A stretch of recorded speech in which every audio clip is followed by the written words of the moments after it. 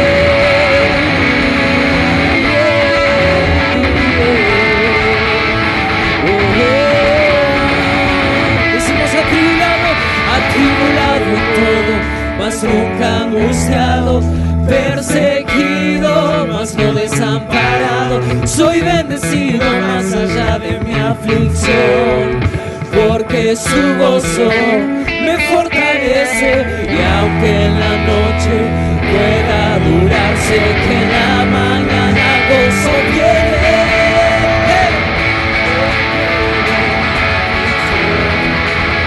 Mi vergüenza yo te doy, lo estoy cambiando por gozo.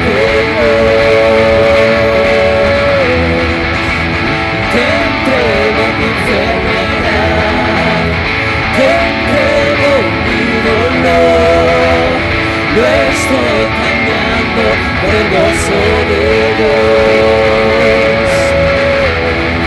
Sí, Señor, sí, sí, Señor. Sí, Señor, sí, sí, Señor.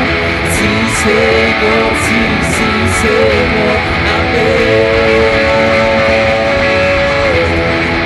Sí, Señor, sí, sí, Señor. Señor, sí, sí, Señor. Sí, Señor, sí, sí, Señor. Amén.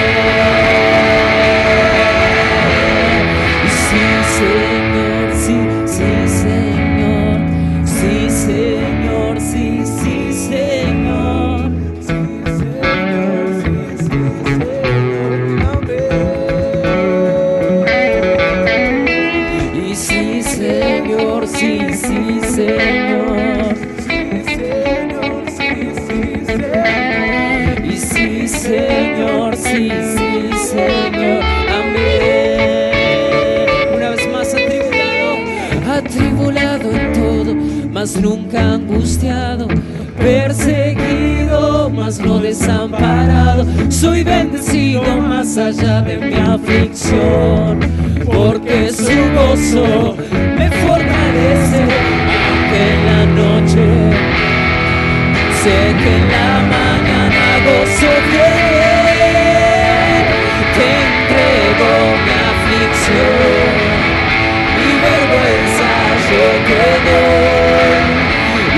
estoy cambiando el gozo de Dios. Gozo en esta mañana, te entrego te entrego mi dolor. Lo estoy cambiando por el gozo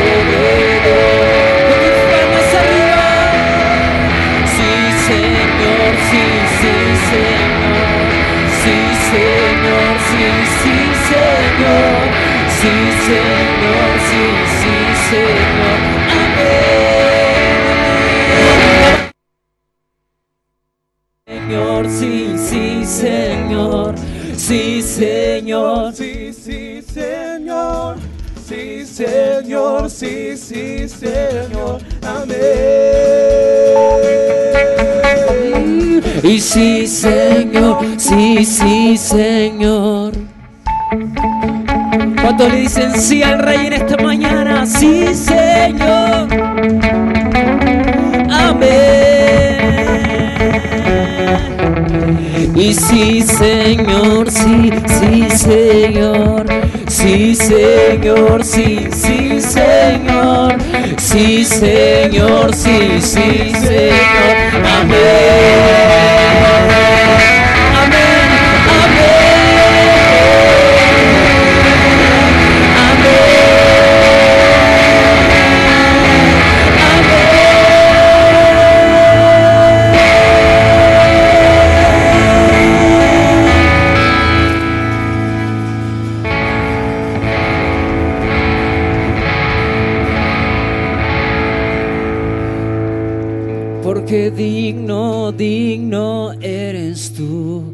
A ti sea honor y poder.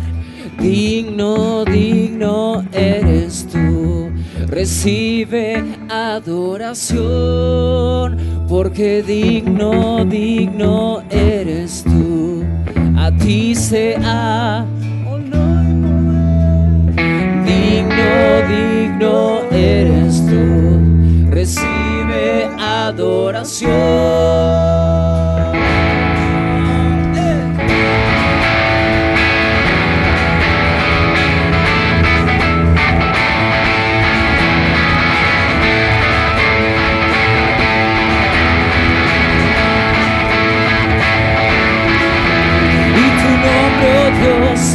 Exaltaré, tu majestad levantaré, por siempre te proclamaré, mi alabanza elevaré, y tu nombre, Dios, exaltaré, tu majestad levantaré, por siempre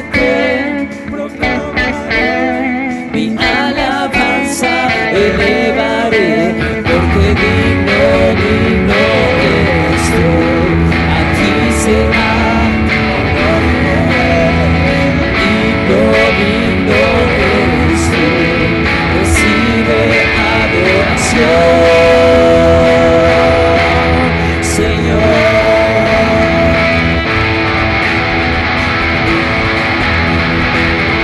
Tu nombre, tu nombre, oh Dios, exaltaré. Tu majestad, levantaré, por siempre te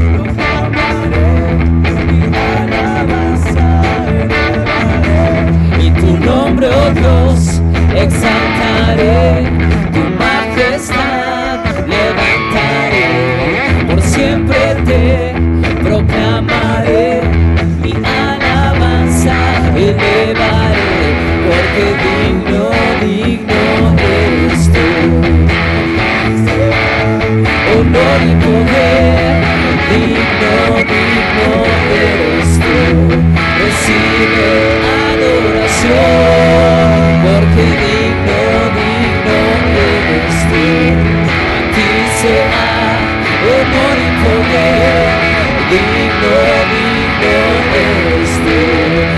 y de adoración.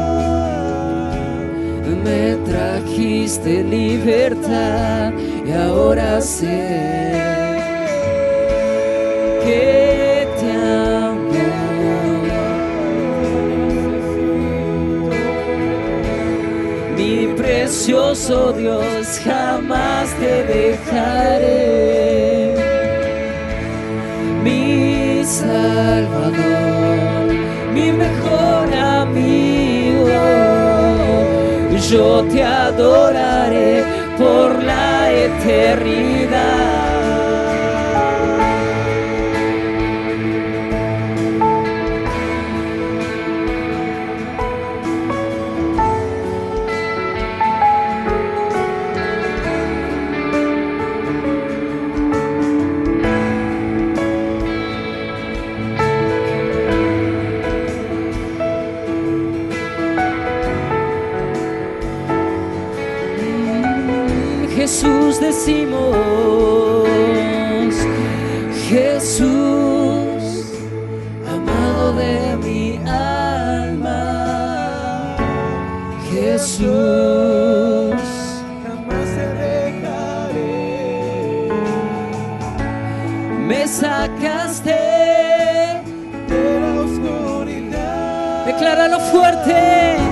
Tú me trajiste libertad y ahora sé que te amo. Te necesito. Mi precioso Dios, jamás te dejaré. Mi Salvador, mi mejor amigo yo te adoraré por la eternidad. Que te amo, que te amo, te necesito. Mi precioso Dios, jamás te dejaré.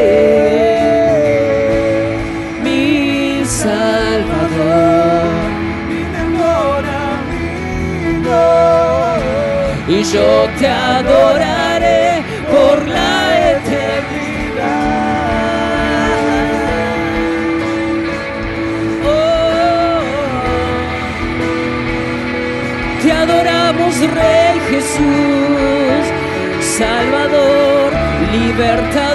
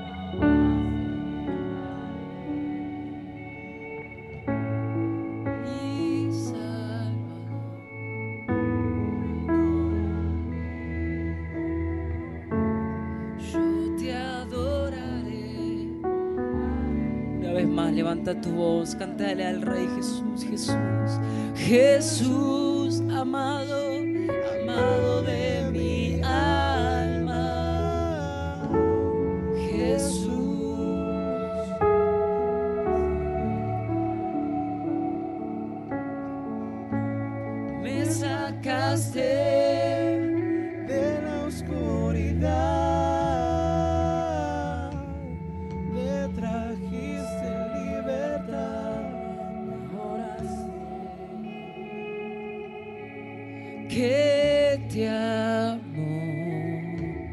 te necesito, mi precioso Dios, jamás te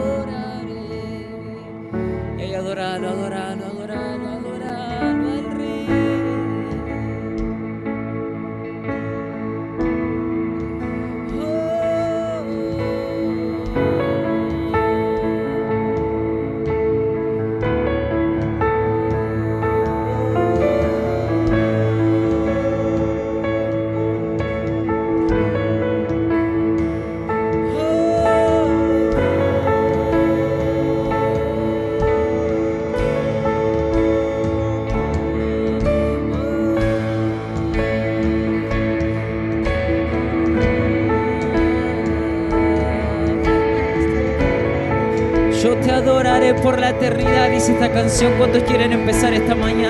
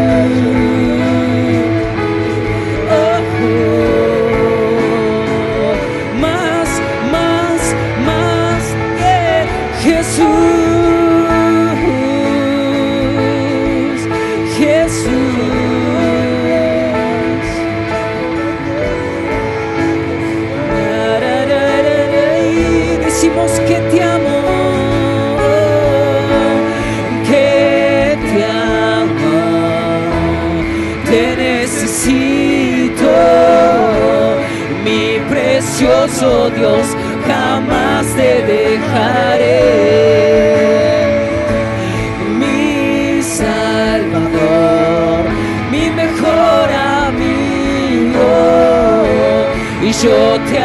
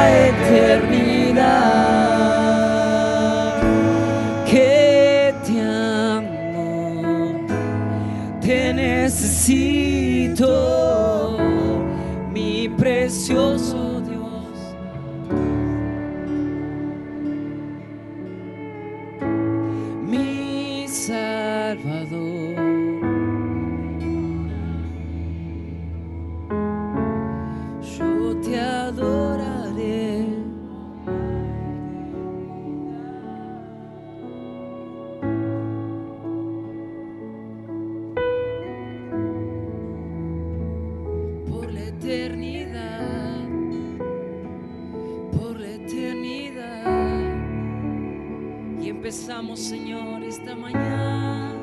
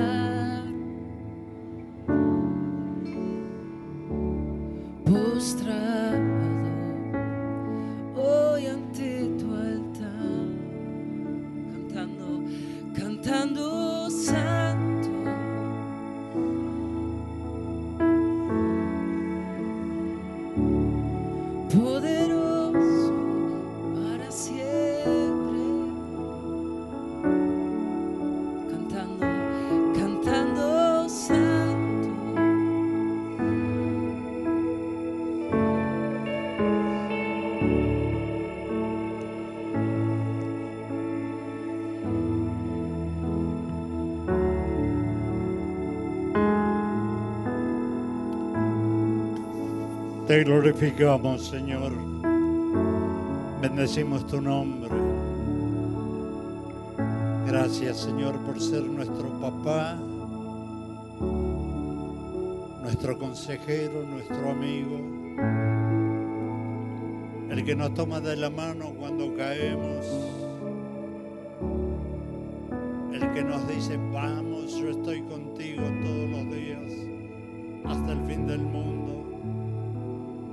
Gracias Señor porque escribes nuestro nombre en el libro de la vida de donde nadie, absolutamente nadie lo podrá borrar, Señor. Señor, que estas canciones suban como un perfume grato a tu presencia.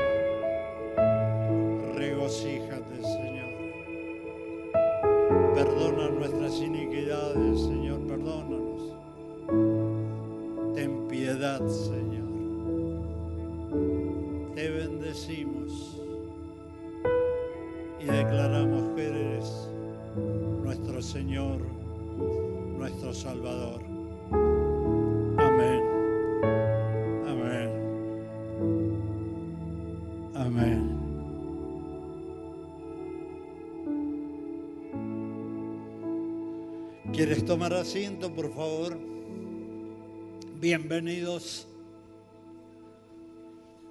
Sabes, vos y yo hemos sido invitados en esta mañana a una fiesta espiritual. El bautismo es eso, es una fiesta. Que para mí, yo siempre lo digo, tiene dos caras, ¿no? Estamos presenciando la muerte del viejo hombre, de la vieja criatura, y el nacimiento de una nueva vida, de una nueva criatura, de un nuevo ser. Y nosotros estamos invitados a vivirlos gracias a ellas que han decidido bautizarse, que han decidido ir a la presencia de Dios para decirle, Señor, hazme nueva, totalmente nueva. El bautismo es una evidencia exterior de lo que pasa en nuestro interior. Si te bautizas por el simple hecho de bautizarte, entra un pecador seco, y sale uno mojado. No lo debemos hacer si no está en nuestro corazón. La única disposición para ser bautizado es que debemos creer con toda nuestra alma, con todo nuestro corazón, con toda la fuerza, que Jesús es nuestro Señor. Que un día le abrimos la puerta de nuestro corazón y le dijimos, Señor, entra. Entra porque te necesito. Y Él entra y empieza a hacer los cambios desde adentro hacia afuera. Vos y yo pretendemos ver los cambios y hacer, y hacer los cambios desde afuera. No, no, no, no, no, no. El Señor lo hace desde adentro hacia afuera. Y entonces alguien que te conocía antes, un día se para y te dice, ¿Qué te pasa? No sos el mismo de antes. No sos la misma mujer, el mismo varón de antes. Entonces uno a veces no tiene plena conciencia y se pregunta, ¿qué me ves? Bueno, ven, ven, nuestros cambios, ¿no? Todavía no somos perfectos. Vamos a hacerlo cuando estemos en su presencia, pero en el mientras tanto caminamos hacia la perfección tomado de la mano de Dios. Y entonces es maravilloso que alguien que nos conocía antes se sorprenda de las cosas que Dios puede, quiere y hace en nosotros. Si yo quiero, si vos querés. Jesús también se bautizó. Ahí estaba Juan en el Jordán. Entonces viene Jesús y le dice, vengo para que me bautices. Y por supuesto, vos, yo y Juan le diríamos al Señor, Señor, sos vos el que me tenés que bautizar a mí. Y él dijo, deja para que se cumpla todas las cosas como Dios los había preparado. Y ellas hoy están abriendo su corazón y decirle, Señor, acá está, se va a morir la vieja criatura y van a ser la nueva criatura. En Romanos 6, 1, 3 dice, porque somos sepultados juntamente con Él para muerte, para el bautismo, a fin de que como Cristo resucitó de los muertos para la gloria del Padre, así nosotros andemos en vida nueva.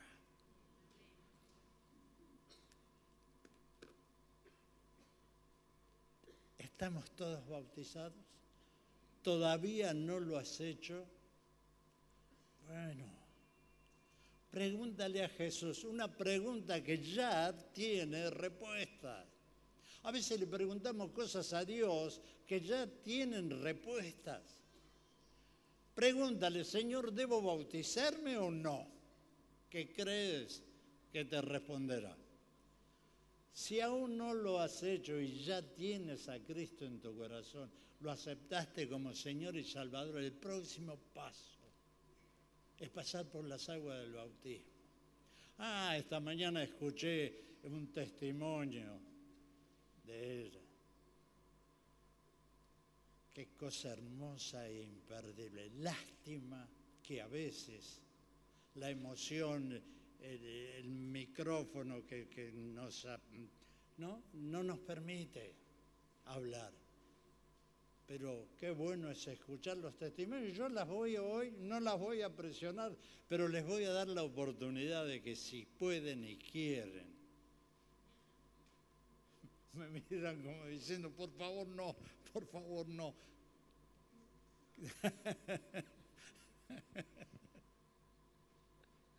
Bueno, quizás en otra oportunidad lo den, pero sabes, vos y yo ahora vamos a orar por ella. Para que la gloria del Señor, el poder, el amor, se manifieste de tal manera que cuando salgan ni su familia la conozcan. Amén. Bueno, por favor, extiende tus manos. Señor, te bendecimos. Señor, qué hermoso es presenciar que nuestras hermanas van a pasar por las aguas del bautismo, Señor. Qué hermoso, Señor, que vamos a estar viendo día a día la transformación de sus vidas. Señor, qué hermoso es que ella te aceptaron en primer lugar en sus corazones. Y ahora, Señor, siguiendo tus indicaciones, van a pasar por las aguas del bautismo. Señor, las bendecimos. Declaro en el nombre de Jesús vida nueva, transformación completa, sanidad integral, cuerpo, mente, alma, espíritu. Padre, glorifícate en su vida, úsala para tu honra y tu gloria. Úsala como llave para entrar en la vida de sus compañeros, de su familia, de- del lugar donde tú la lleves. Padre, glorifícate, Señor. Padre, Espíritu Santo, llénalas, Señor, llénalas, llénalas, Señor. Si están llenas de ti, bueno, no habrá lugar para otros espíritus, Señor. Al bendecirlas a ellas, Señor, en el nombre de Jesús, bendecimos sus hogares, su entrar, su salir, Señor que sean un instrumento de bendición donde quiera que sus pies las lleven, Señor. Oh Espíritu Santo, glorifícate, glorifícate. Pero no solamente oramos por ella, Señor, oramos por nuestros hermanos que hoy Dios va a usar como herramienta.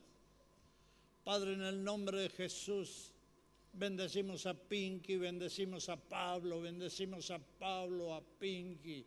Señor, úsalas, úsalos. En el nombre de Jesús, que sean tus manos las que bauticen, que cuando ellos abran su boca, Señor, seas tú el que esté hablando.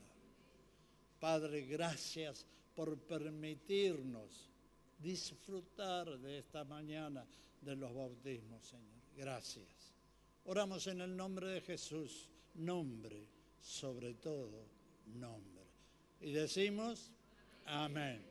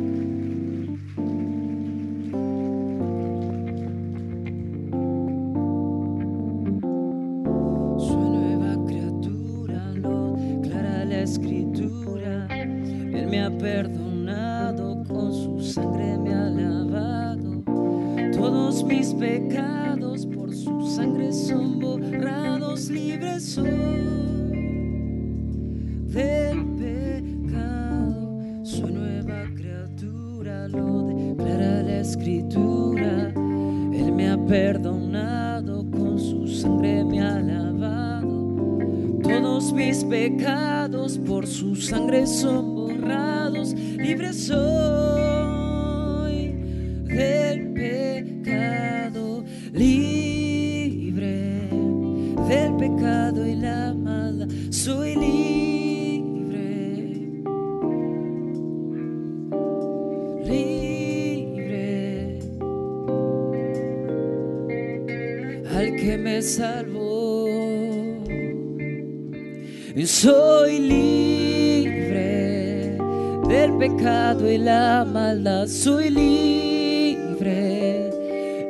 roto mis cadenas. Libre.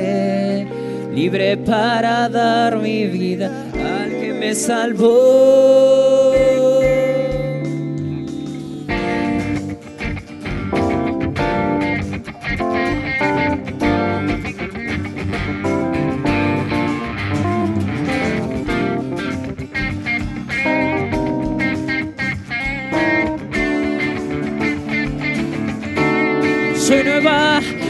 Nueva criatura, lo declara la escritura. Él me ha perdonado, con su sangre me ha lavado. Todos mis pecados por su sangre son borrados, libre soy pecado. Soy nueva criatura, lo declara la escritura. Él me ha perdonado, con su sangre me ha lavado. Todos mis pecados por su sangre son borrados. Libre soy del pecado, libre. Soy libre, Él ha roto mis cadenas, libre, libre para dar mi vida al que me salvó. Libres, soy libre,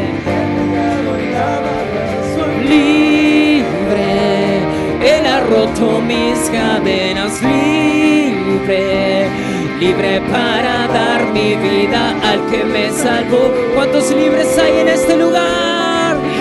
Su nueva criatura lo declara la escritura. Él me ha perdonado, con su sangre me ha lavado. Todos mis pecados por su sangre son borrados del pecado. Soy nueva criatura, lo declara la escritura. Él me ha perdonado, con su sangre me ha lavado. Todos mis pecados por su sangre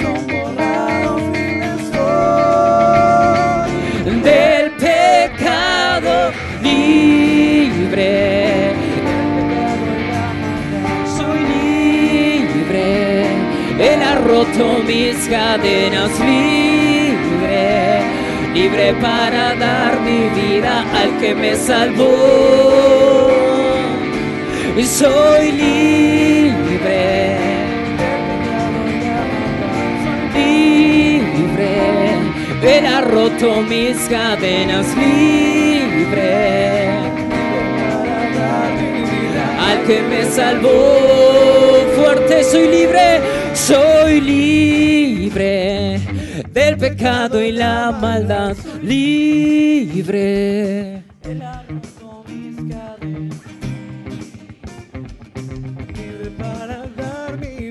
Al que me salvó. Y soy nueva criatura, lo declara la escritura. Soy nueva criatura, lo declara la escritura. Soy nueva criatura, lo declara la escritura. Y soy nueva criatura, lo declara la escritura.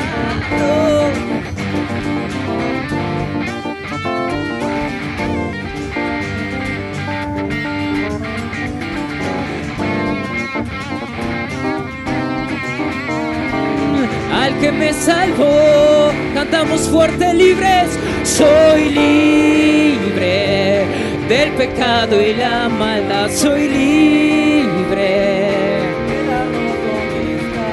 Libres, libres para al que me salvó, libre, y soy libre.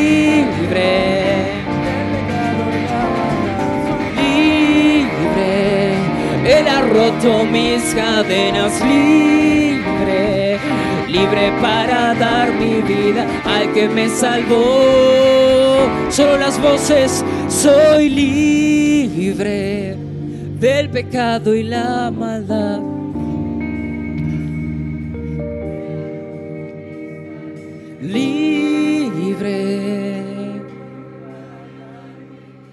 Al que me salvó. Una vez más fuerte soy libre del pecado y la maldad.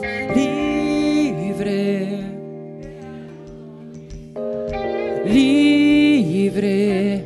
Libre para dar al que me salvó.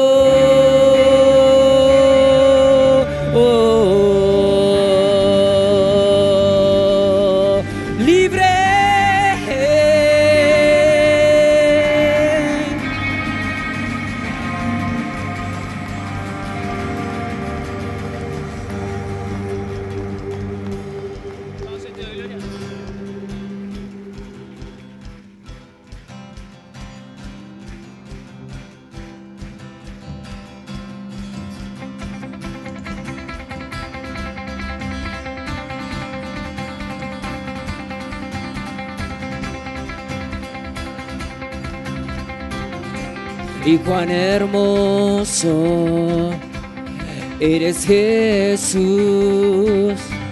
Son tus palabras, es tu amor, cuán glorioso eres Jesús,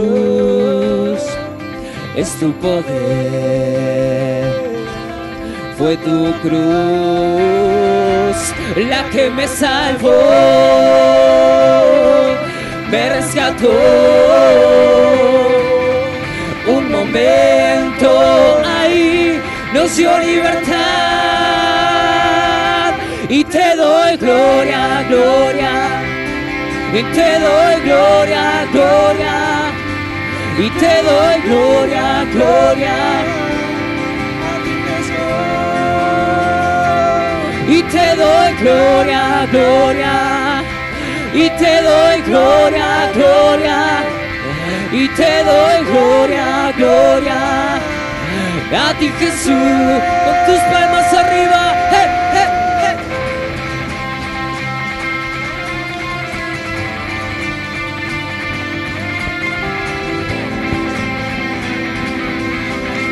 Oh, y cuán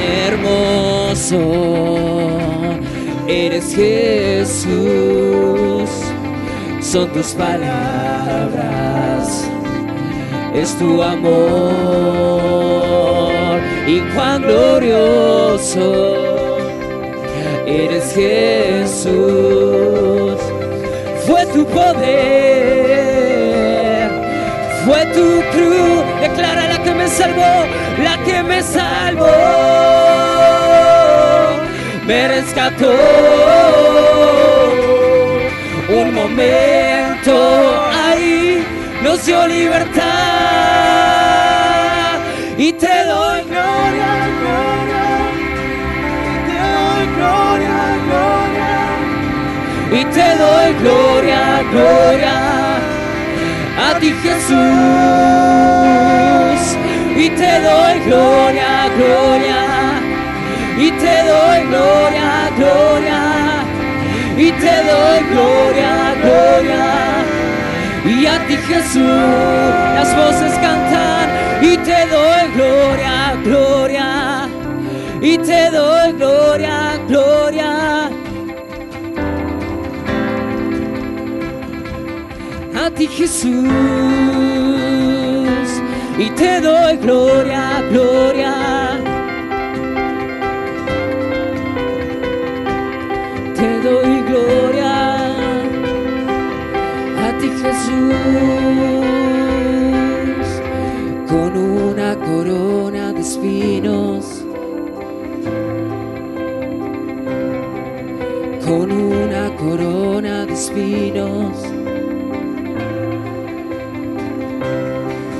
con una corona de espinos te hiciste rey por siempre. Y con una corona de espinos te hiciste rey. Vamos iglesia y te doy gloria, gloria. Y te doy gloria, gloria.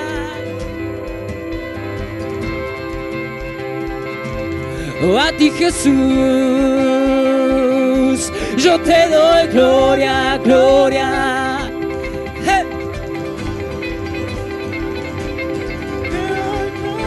Le damos la gloria al Rey Jesús. Yo te doy gloria, gloria. Y te doy gloria, gloria. Te doy gloria, gloria. A ti Jesús. Y yo te doy gloria, gloria. Y te doy gloria, gloria a ti Jesús.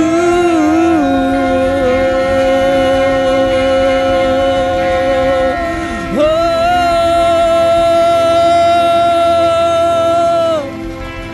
Dale tu mejor grito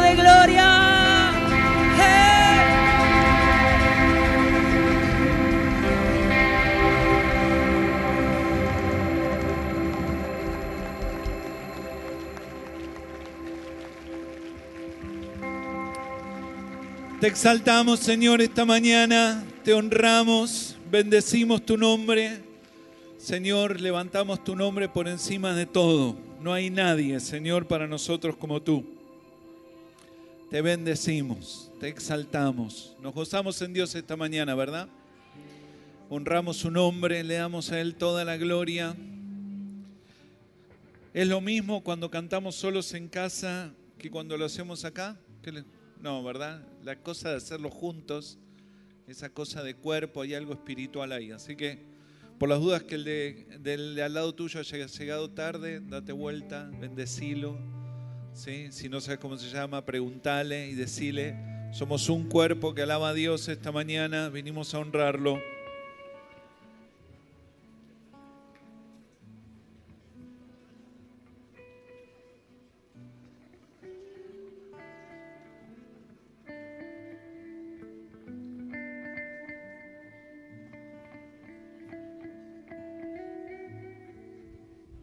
Dice así la palabra en Mateo 6, 25 y con esta palabra y abajo de esta palabra o arriba de esta palabra, caminando en esta palabra vamos a ofrendar esta mañana. Le habló Jesús a los discípulos y les dijo, no se preocupen, no se angustien, no se afanen. Dice Mateo 6, 25, por vuestra vida, que van a comer o que van a beber, ni por vuestro cuerpo, que habéis de vestir porque no es la vida más que el alimento y el cuerpo más que el vestido. Y está Jesús tratando de ordenar las cosas, ¿no? Está tratando Jesús poner las cosas en orden, recordándonos que el anhelo más profundo y más grande de nuestro corazón está en cosas que no se compran con dinero ni se consiguen con cosas materiales. ¿Cuántos están de acuerdo esta mañana? Si está de acuerdo, compártalo con alguien. Lo más valioso en mi vida es, y contale, ¿qué es lo más valioso en tu vida? Bueno, Cristo, pero además, ¿qué cosas tenés que no se consiguen con plata? Que no quisieras perderlas por nada, ni aún por todas las riquezas. ¿Qué cosas tenés que vos decís, esto para mí no tiene precio, no se puede comprar de ninguna manera?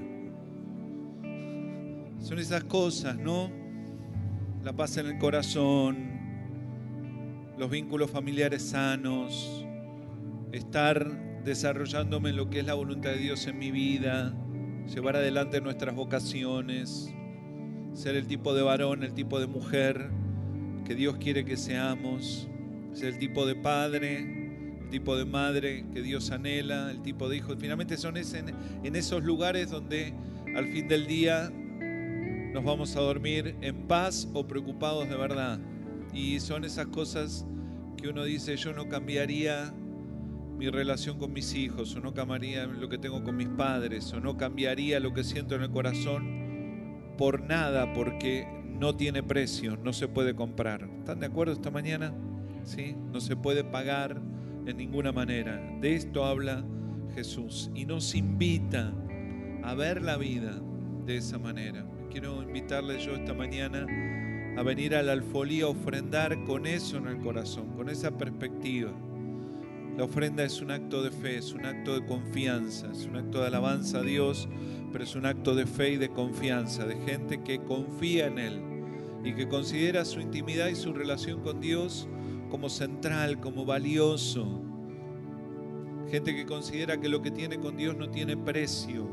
Entonces venimos al alfolí porque ya nos desprendimos de creer que lo más importante en nuestra vida se consigue con cosas materiales.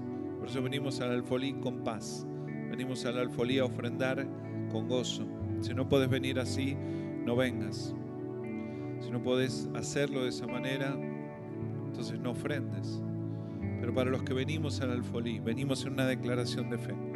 Las cosas que me hacen sentirme realizados no se compran con la plata que voy a ofrendar esta mañana. Es más, seguir a mi Dios, adorarlo de todas las formas posibles y ser fiel y tener una perspectiva de fe en todo, inclusive en lo material, trae lo otro a mi corazón y con eso también todas las cosas.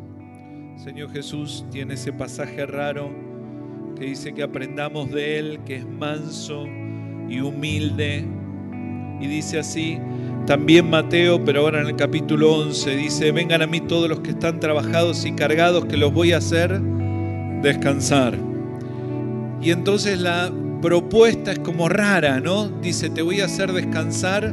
Y dice, para que descanses, lleva sobre tu vida, ¿qué cosa? Mi yugo.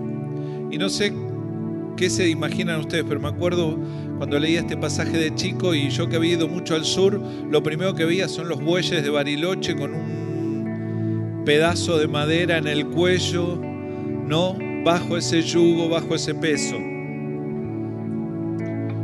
Pero dice el Señor que el yugo de Él es liviano y hace ligera la carga. Porque hablaba Jesús de otra cosa. Hablaba de un palo que se llevaba en los hombros que también se llamaba yugo y que se usaba para repartir las cargas y que las cargas no te pesen y se volvieran más ligeras. No era el yugo que te pone bajo el peso del trabajo, sino era el yugo que te ponía en la libertad de llevar adelante más peso que el que creías que podías y llevar adelante más cosas que la que pensabas que podías cargar. Jesús potencia siempre en todo nuestra vida. Abrazarlo a Él, aceptar el yugo, significa darle el mando de nuestra vida. Significa decir que tengo a alguien más grande que yo, al cual nombré mi rey. Significa llevar el yugo de Cristo, significa decir que tengo dueño, que tengo propietario, que alguien es más grande en mi vida que yo mismo. Pero tengo que saber también que entregarnos a Jesús vuelve todo más fácil, todo más ligero. Para los que están aquí esta mañana y quizás es una de tus primeras veces en la iglesia y decís, ¿por qué la gente ofrenda? Es porque entendimos esto, que hay alguien más grande que nosotros. Lo hemos aceptado en nuestra vida. Le hemos dado el mando de nuestro corazón. Para algunos con mucho desafío, pero después enseguida nos dimos cuenta que caminar bajo la mano de Dios vuelve todo más fácil y hace todo más ligero. Es una gran decisión. Y si estás aquí esta mañana y nunca tomaste una decisión por Cristo, que hoy no te vayas de aquí sin hacerlo.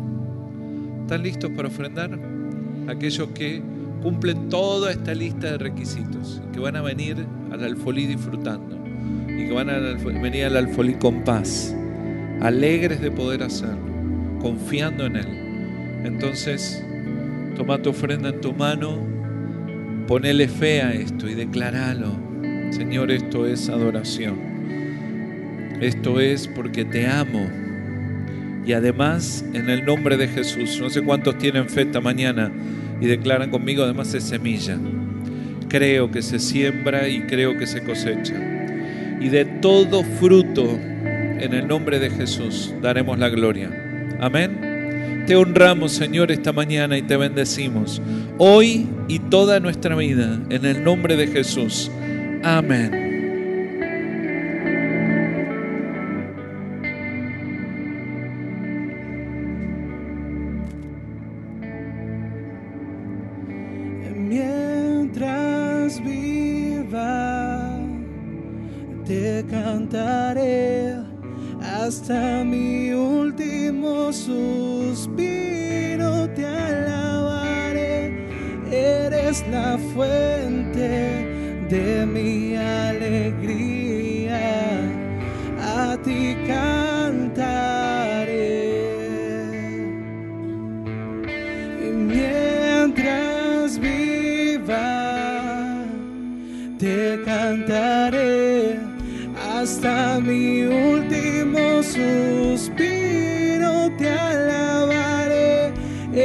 Eres la fuente de mi alegría, a ti.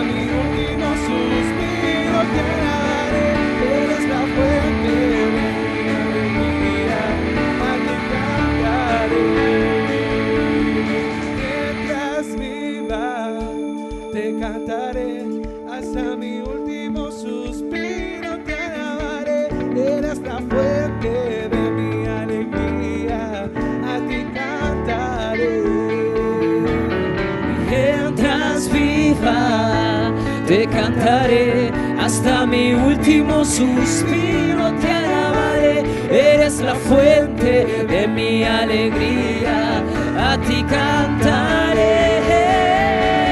Mientras viva, te cantaré.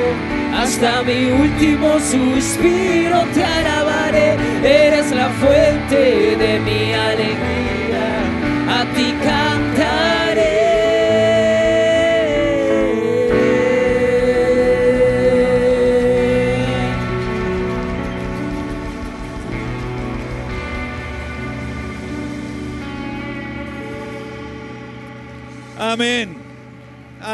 Tome asiento, por favor. Cuando llegó y le dieron un boletín, Algunas cosas rápidas mientras los chicos, si quieren pasar a la escuela bíblica, ya lo pueden hacer. Todos los domingos, mientras nosotros estamos en el culto, después de la alabanza, los chicos de a partir de 5 años tienen su actividad particular, mucho mejor que esta. Eh, parece que se divierten más. Así que si tenés hijos en esa edad, además de que tu mejor negocio es que los chicos participen de todo aquello que tenga que ver con la presencia de Dios, además los domingos a la mañana tienen esta actividad al mismo tiempo. ¿Tienen sus boletines? ¿Sí? ¿Los tienen? Bueno, dos o tres cosas allí para marcar que tenemos por delante. la primera es que para las mujeres que quieran ya tienen abierta a partir de hoy la inscripción para el retiro de mujeres de agosto. Tienen la información en el boletín, pero ya pueden reservar el lugar desde hoy. A partir de hoy pueden reservar el lugar para el retiro de agosto. Las que ya lo tenían tomado y lo eh, confirmaron no necesitan hacerlo de nuevo, pero aquellos, aquellas que no tienen el lugar tomado lo pueden hacer a partir de hoy. Si necesitan información sobre la actividad de mujeres de agosto, bueno, se acercan a cualquiera de las líderes que ellas le pueden informar. La otra cosa es que tenemos ahí una placa, ¿no, Santi? El fin de semana de julio, y esto usted no lo tiene en el boletín, y en algún sentido tiene mucho que ver con el sermón de hoy, en el fin de semana de 9, 10 y 11 de julio, ¿sí? 9, 10 y 11 de julio, vamos a tener nuestro seminario anual de familias. Esto va a ser 9, es un jueves, pero es feriado porque es 9 de julio, el 10 de julio que es feriado de puente y el 11 de julio que es sábado, de 6 a 10 de la noche. Estamos trayendo este año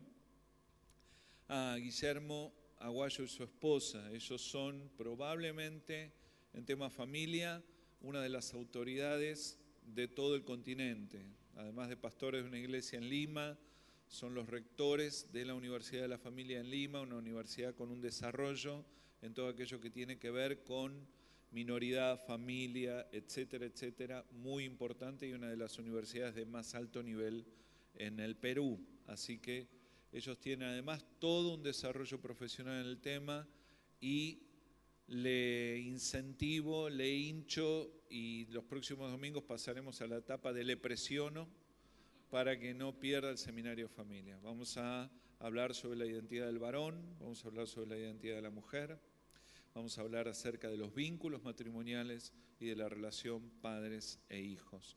¿Cuántos son hijos de alguien aquí? Ok, algunos no levantaron la mano. Quiero, por ahí uno no sabe, lo de repollo es mentira, ¿sí? ¿Cuántos son hijos de alguien aquí? Ahí estamos, ¿sí? Algunos que pensaron que era de repollo, ya, ¿sí? Y entre las notas que me manda Guillermo, me dice, me dice, está bien, me dice, si hablamos de la relación con los padres que ya partieron. Digo, uh, interesante, ¿no? Así que le dijimos que sí. Así que creo que vamos a tener tres días muy interesantes que van a ser de mucha bendición. En un tema que es para nosotros indispensable. Eh, así que anótese, el costo del seminario es 200 pesos porque hay que afrontar un montón de gastos de materiales y de traslado de gente. Pero como en toda actividad, nadie se queda fuera si no lo puede pagar. Si usted no llega con el costo, con honestidad viene y dice yo llego a tanto. Lo habla con su timonel, lo resuelve por esa vía y siempre de alguna manera lo vamos a acomodar pero nadie debe perder este seminario. La idea es cubrir los gastos y no cargar a la tesorería más en el momento que estamos con la construcción y demás. Pero tampoco vamos a dejar de hacer estas actividades. Entonces, eh, le incentivo a participar. Reserve su lugar. Como todo, no podemos esperar último momento. La cantidad de lugares, el tamaño del auditorio. Así que eh, asegúrese su lugar porque somos más del doble que la cantidad de sillas que tenemos. Pero, a ver, a ver, ponelo de nuevo, Santi. No, no, eso es otra cosa. Ahora les explico lo que es eso. Seminario de familias es 9, 10 y 11 de julio. ¿sí? Ahora les explico lo que es eso. Eh, entonces, ¿está claro lo del seminario de familias? Preparatorio al seminario de familias vamos a hacer dos cosas. La primera es que vamos a comenzar una serie de devocionales y de materiales sobre familia que nos van a llevar al seminario de familia más preparados. Así que estamos comenzando esto no esta semana, sino la siguiente, para tener 30 días previos de preparación a toda la tarea que vamos a vivir en el seminario. Así que vamos a empezar eh, con esto, no esta semana, sino la siguiente. Aquellos que tienen acceso a internet lo van a poder seguir por ahí y si no, como siempre, usted va a recibir el material cada domingo impreso. Ese será nuestro material en las barcas, será nuestro material en los ministerios, será lo que estemos trabajando. Estaremos trabajando estas cuestiones, la identidad del varón, la identidad de la mujer, la construcción de la familia, la relación con los padres y la relación con los hijos. La otra cosa es, ahora sí vamos con esa plaquita, el 19 y 26 de junio, ¿sí? vamos a tener eh, los encuentros de constructores de hogares que tienen que ver con los programas de fortalecimiento familiar. Estos programas, que ya venimos algunos años dándolo y además la oportunidad de haberlos dado en otros lados, eh, es un material realmente buen material y si usted no participó de alguno de estos encuentros de fortalecimiento familiar, específicamente fortalecimiento matrimonial, hágase el tiempo para participar. Ah, yo hace poco agarré a alguien y le dije, che, ¿no vas a ir al, programa de constructoras? Me dice, yo, mi matrimonio anda bien, me dijo. Bueno, esto no es para gente que tiene problemas. ¿sí? Esto es para que nosotros crezcamos en la edificación y en la construcción de nuestra familia. Si te va bien, anda. Algo más vas a aprender. O alguno ya tiene claro al 100% cómo es el asunto de ser padre. O ya entendiste del todo tu esposa. ¿La entendieron del todo, del todo, del todo? ¿Sí? Y cuando te parece que la entendés, cambia, ¿no? ¿Sí? Chicas, ¿lo entienden de verdad, de verdad el marido? Es más fácil, los varones son más fácil. Con que le cocines bien, lo dejes ver el partido y otro tema que no quiero mencionar porque hay niños, con eso más o menos la va llevando, ¿no? Pero las chicas son más complicadas. Bueno, eh, así que estás en, un, en una oportunidad, aprovechala. Tenés la información ahí, se pueden anotar hoy, los cupos son limitados porque otra vez tienen que ver con los tamaños de los lugares. Así que si no participaste nunca de esto, te incentivo que lo hagas. Amén. Oramos. Señor, ayúdanos con la palabra en esta mañana. Señor, aumentanos la capacidad de entender, pero sobre todo ayúdanos a llevar a la práctica las cosas. Oramos en el nombre de Jesús, en el nombre de Jesús. Amén y amén. Amén. Bueno, si quieren bajar, chicos, está bien. ¿sí? sé que se quieren quedar, pero bajen.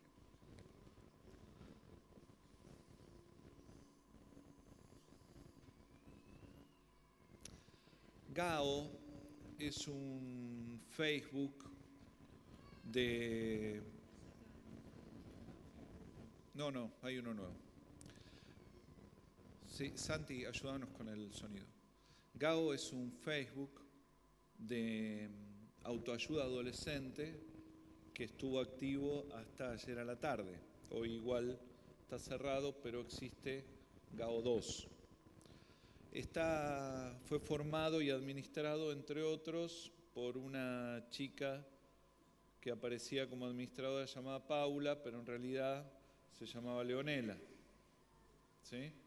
la cual hacía tres días que había desaparecido y la encontraron ayer en su casa de Aedo, horcada en una construcción al lado de la casa, en un suicidio y investigando su computadora encontraron que había encontrado la manera de suicidarse bajándolo de una página web que eh, enseña cómo hacerlo. Entonces, siempre que uno se choca con estas noticias, yo no puedo evitar revisar lo que hacemos y siempre pensar qué más podemos hacer.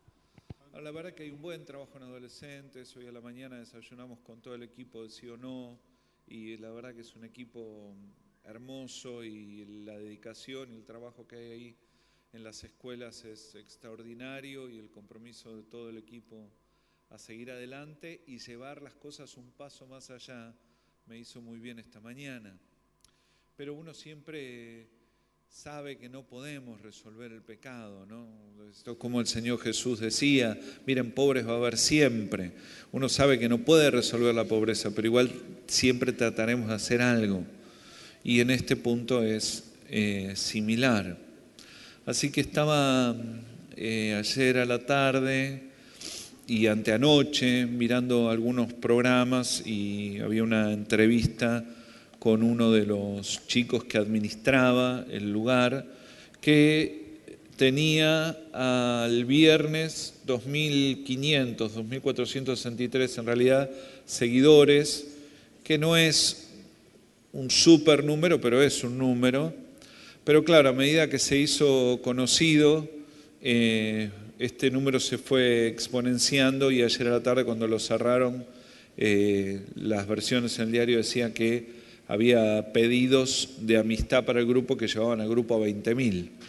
Por supuesto, muchos de esos pedidos habrán sido periodistas o curiosos o papás que querían saber sobre el asunto, pero seguramente también buena parte deben haber sido adolescentes pidiendo ayuda. El grupo es o era, aunque ahora ya existe la, la versión 2, eh, el grupo era un grupo de adolescentes con problemas de valoración, de valoración e integración, ayudándose entre ellos mismos, en teoría, a superar la cuestión, con dos o tres ejes que tienen que ver con estas cosas. La desconexión con los padres,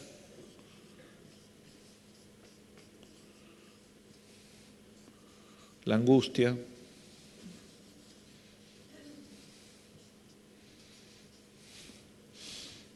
y el temor por el futuro.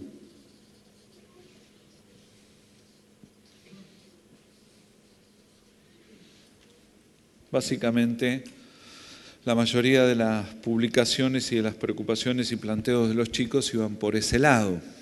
Y van por ese lado, ¿no? Eh, la mayoría de ustedes en algún momento fueron adolescentes, salvo los que esta mañana nos enteramos que nacieron de repollo y no sabemos a qué edad nacieron. ¿Sí? Por ellas nacieron grandes. Pero ¿cuántos fueron adolescentes alguna vez? Claro, la mayoría. Entonces, conocemos la sensación porque es imposible tener 15 y no pasar por acá. ¿Sí? Es imposible. Y si un padre tiene su hijo o su hija de 15 y le parece que no pasa por ahí o no pasó nunca, lo que te pasa es que no te diste cuenta pero es imposible tener 15 y no pasar por acá. Algunos papás fantasean creyendo que sus hijos no pasan por este tipo de situaciones. En parte a veces lo creen porque son cristianos. Bueno, ser cristiano no elimina tener, como enseña toda la Biblia de punta a punta, que ser cristiano no elimina tener determinados desafíos o determinadas luchas o determinadas batallas que librar lo que sí garantiza que si uno se mantiene en Cristo vencerá. Pero no dice que si uno está en Cristo no tendrá estas peleas, sino que por el contrario, ¿no? Como decía el Señor Jesús allí en los, en los evangelios, Él enseñaba que en el mundo hay aflicción, hay batallas, no hay cosas que enfrentar. Juan 16 dice, les hablé todas estas cosas ya en el tramo final, en medio de la última cena. Jesús tiene ese versículo 33 del capítulo 16, donde le habla a sus discípulos y le dice, les hablé todas estas cosas para que en mí tengan paz, porque en el mundo tendrán aflicción, pero confíen porque yo he vencido al mundo. ¿Qué significa que Jesús venció al mundo y cómo es que Jesús vence al mundo en la práctica, en la realidad, en la cosa concreta de todos los días. ¿Cómo es que Jesús vence al mundo? Bueno, la manera que Jesús vence al mundo no elimina que uno pase por estos lugares. Para que haya victoria, primero tiene que haber una lucha. Y estas son las luchas. Y un chico de 15 pasará por acá. Pasará a los 14, a los 12 o a los 17, pero pasará por acá. Un día se sentirá que sus padres no lo entienden. Sentirá eso en buena medida porque probablemente no lo entiendan. No solamente porque le parezca, a veces sí, a veces los chicos creen que vos nunca tuviste 15. Y entonces le, le, parece que no lo entendés porque jamás te pasó lo que a él le pasa. Somos todos, ¿verdad? No importa la edad, muy dados a creer que lo que nos pasa a nosotros no le pasa a nadie. O a tener la sensación que como nosotros vivimos determinadas cosas, nadie más las vive. Entonces alguien te cuenta un problema y vos le contás el tuyo y el otro dice, no, pero lo mío es peor, ¿no? Y nos sentamos a ver quién está más desgraciado, ¿no? Y entonces a ver, ¿no? Las chicas que se hicieron la cesárea compiten a ver cuál tiene más cantidad de puntos y los varones quién hizo la colimba más larga. Y los que tienen menos de 30 no entienden nada de lo que estamos hablando. Bueno. Pero estas luchas existen y existieron y existirán. Mientras que los padres no deben negarlas. Tampoco deben recorrer el camino de que tus hijos eviten pasar por acá, sino que una actitud sana es acompañarlo cuando crucen por acá. Y si tu hijo tratara de evitar alguna de estas luchas, vos lo ayudarás a que las enfrente, no a que las evite. Si tu hijo tiene 16, 17 y jamás tuvo una discusión con vos, ayúdalo a que la tenga. Porque es parte del crecimiento y de la salud y de la maduración que te desafíen. En algún lado tu hijo tiene que aprender a pelear, mejor que aprenda con vos. Porque, viste, el cachorrito se pelea con la madre, que lo va a morder, pero no lo va a lastimar. Una madre sana, ¿no? Una madre sana no lo va a marcar. Pero si sale a aprender en la calle, en la calle lo van a marcar. Entonces, por supuesto, es diez veces más cómodo tener hijos que se portan bien todo el tiempo, no te traen ningún problema, nunca te discuten, nunca te plantean nada, nunca te desafían, etcétera, etcétera. Es diez veces más cómodo. Quizás no es lo más sano. Y si notas que tu hijo crece y no pasa por ahí, ayúdalo a que pase. Pero pastor, ¿usted me está diciendo que yo dé pasos para complicarme la vida? Claro, en función de mejorar la de tu hijo, en función de ayudar a tu hijo. Porque todos tuvimos 15 y todos sentimos perfectamente que nuestros padres no nos entendían en algún momento. Otra vez, muchas veces lo sentimos porque verdaderamente no nos entendían. Mi papá era ingeniero, para él todo eran cables y transistores, y yo amaba los caballos. Mi papá no podía entender que yo volvía contento de pasar todo el día con el caballo y que cuando llovía y no podía andar extrañaba el olor a bosta. mi papá era inentendible, que ustedes me entienden, pero para mi papá era inentendible. Y entonces me llamaba me decía, vení, hagamos algo juntos. ¿Te parece armamos un circuito integrado? Y yo miraba el sol y me imaginaba a mi caballo en el campo, miraba el circuito integrado y le decía, arranca que ya vengo. ¿Sí? Y cuando no volvía sabía dónde estaba, ¿no? Entonces, mi papá decía, pero vos no entendés, esto es tu futuro. Y yo la verdad que no entendía. Pero la verdad que tampoco mi viejo me entendía a mí. Y un par de veces que lo hice subir a un caballo, me di cuenta que además no entendía mi caballo, ¿no? Entonces pasaremos por acá, es irremediable. Pasaremos por la tierra de la angustia. Es irremediable. ¿Sí? La verdad que desde que Jesús se angustió, de ahí para acá, todos estamos eh, habilitados para pasar por una noche de lágrimas. Y por supuesto, en algún punto tendremos temor al día de mañana, o preocupación, o preguntas. Ninguna de estas actitudes, ¿ustedes qué piensan? ¿Estas actitudes son adolescentes? Son también de los adolescentes. Porque uno puede tener la edad que sea y sentir que se quedó desconectado de los padres. Por eso me gustó la charla que propuso Guillermo. ¿Qué te parece? ¿Hablamos de los problemas con los padres que ya se fueron? O sea, ¿se puede tener problemas con padres que no están? Sí, también se puede. Entonces, son temas que tienen que ver con estar vivo.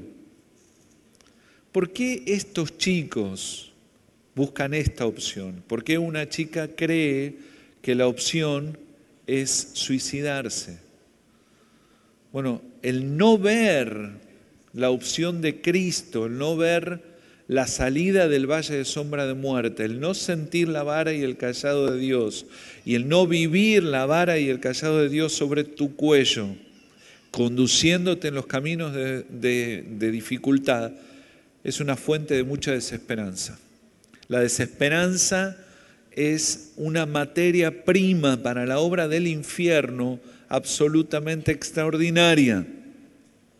Y acá aparece la gran responsabilidad de la iglesia. Dice Romanos, si nosotros callamos, ¿quién va a hablar? Y si nosotros no vamos, ¿quién va a ir? Entonces, ¿qué deberíamos hacer? ¿Organizar un ministerio? O por ahí mejor, tener esta identidad.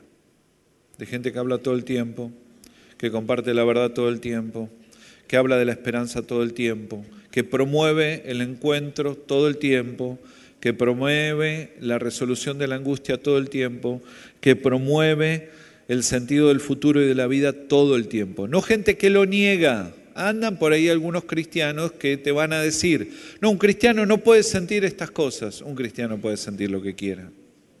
Jesús estaba angustiado hasta la muerte y era el Señor. Se puede pasar por acá. Y en algún momento, mis hermanos, no los estoy en ninguna manera deseando el mal, pero es muy probable que en algún momento de nuestra vida pasemos por acá. ¿Cuántos me entienden esta mañana? ¿Sí? Entonces, ¿cuál es la solución? ¿Qué hacemos nosotros? Nosotros vivimos buscando no pasar por acá. Pero ese no es el camino. El camino es cruzar y vencer. Porque sí o no que algunas algunas cuestiones de crecimiento en la vida y en la personalidad y algunas cuestiones de éxito y de logros en nuestra vida personal han venido de haber cruzado estos valles y haber vencido. Hay cosas que solamente se consiguen en el horno o en el valle de sombra de muerte o en el medio de un barco que cruje en una tormenta. Hay cosas del carácter y de la edificación familiar y de la relación con Dios y de la intimidad espiritual con el Espíritu Santo que solamente se consiguen en estos lugares. Así que no es el asunto de, por favor, que yo jamás esté en una prueba. No, es Moisés, que yo jamás esté en una prueba solo. Señor, ¿qué tengo que hacer? ¿Ir a Egipto, agarrar un millón de personas y traerlas acá? ¿De verdad? Venís conmigo, ¿no? Fue todo lo que le, todo lo que le preguntó. La única, ni le preguntó cómo lo iba a hacer. Dijo, ¿qué hago? Voy y le digo al faraón, che, dejá salir la gente que me la tengo que llevar. Y Dios, ¿qué le dice? Sí. Y Moisés, ¿qué le dice? Y si no me creen, eh, lo que te mandé yo. Ok. Pero vos venís, ¿no? O sea, yo voy y digo que me mandaste vos, pero vos estás ahí. Sí. Bueno, ok, vamos. No dijo, no me mandes, no dijo, escúchame, ¿cómo los vamos a sacar? ¿Con milagros y señales, plagas y demás? Y no podemos en vez de hacer diez plagas y abrir el mar y todo el despiolo, hacer un solo milagro y hacer los que aparezcan acá de una. ¿No podemos hacer directamente eso? Que se levante el farol a la mañana y no haya ninguno. Es más práctico, aparte te vas a cansar menos, le dijo Moisés a Dios. No, no, no. Ok, vamos al valle, pero vení. Porque hay cosas que solamente se logran en estos lugares. La sociedad, nuestra nación, está en medio de uno de esos momentos. Ahora, por supuesto, cuando uno camina sin Cristo, siempre está sujeto a pasar más de esos momentos. Pero muchos de estos momentos de dificultad tienen que ver con estar vivo, como decíamos. La iglesia es la respuesta de Dios, práctica, no es la respuesta perfecta. Dígalo conmigo, no es la respuesta perfecta, es la respuesta práctica, no es la perfecta, ¿eh? si no, mire para el costado. No es la respuesta perfecta, es la respuesta práctica a todas este tipo de situaciones. la iglesia, ¿sí? Eso y el que tenga el auto GBO 940, las dos cosas son dos urgencias, la misión de la iglesia y el que tenga el GBO 940 que lo mueva, ¿sí? Si está acá, vamos todos a cerrar los ojos para que GBO 940 se pueda levantar sin vergüenza. Bueno, él, ese nene es el dueño del GBO 940. Entonces, ahora sí, Santi, vamos con la placa. La, iglesia es de alguna manera la respuesta práctica de Dios a esta situación y a muchas otras. Es la respuesta del Señor, es la forma en que Dios eh, tiene planeado manifestarse y obrar en la tierra. Es interesante ese pasaje que tantas veces leímos de Jesús hablándole a Pedro y diciendo, Señor, ¿se acuerdan cuando Pedro le dice, tú eres el Cristo, el Hijo del Dios viviente, ¿no?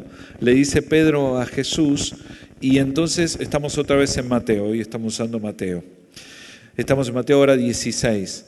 Y Jesús le dice, 16, 18 de Mateo, y yo te digo que tú eres Pedro, y sobre esta piedra edificaré mi iglesia, y las puertas del reino de la muerte no prevalecerán contra ella. Te daré las llaves del reino de los cielos, y todo lo que ates en la tierra quedará atado en el cielo. Gracias.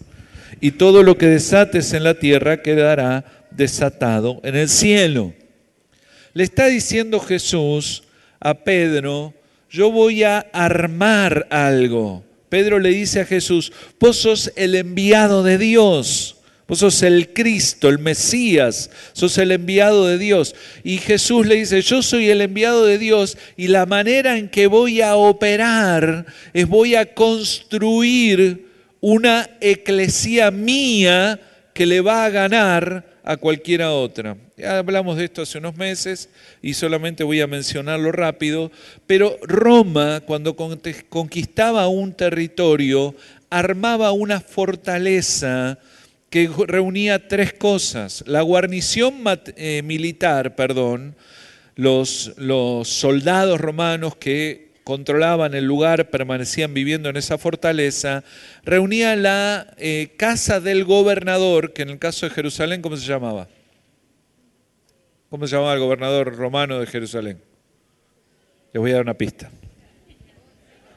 Vamos todavía, Pilato, ¿sí? ¿Está bien?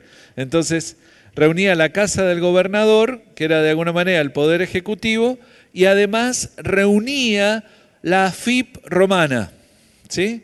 En, la, en ese lugar, en esa fortaleza, la gente pagaba los impuestos, resolvía sus situaciones jurídicas o judiciales y además sabía que estaba el control militar sobre la región. Y si bien Jerusalén conservaba la policía del templo, sobre esa policía había una autoridad militar más grande que eran los legionarios romanos. Esa fortaleza se llamaba eclesía tenía una inscripción en la puerta que cuando vos entrabas a la fortaleza, estabas entrando a un territorio netamente romano. No estabas en un territorio conquistado por Roma, sino que estabas pisando Roma. Adentro de la eclesía era Roma. Era una, eh, a ver, fueron como los antecesores de una embajada. Era un lugar de otro reino gobernando sobre esa ciudad.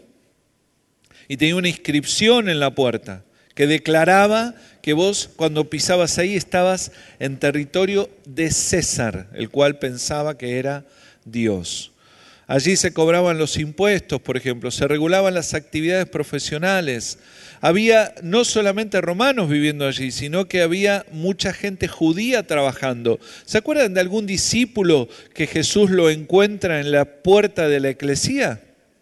A Mateo, que estaba sentado allí cobrando los impuestos. Estaba trabajando, era un sabueso de la FIP, trabajaba para Echegaray. ¿Sí?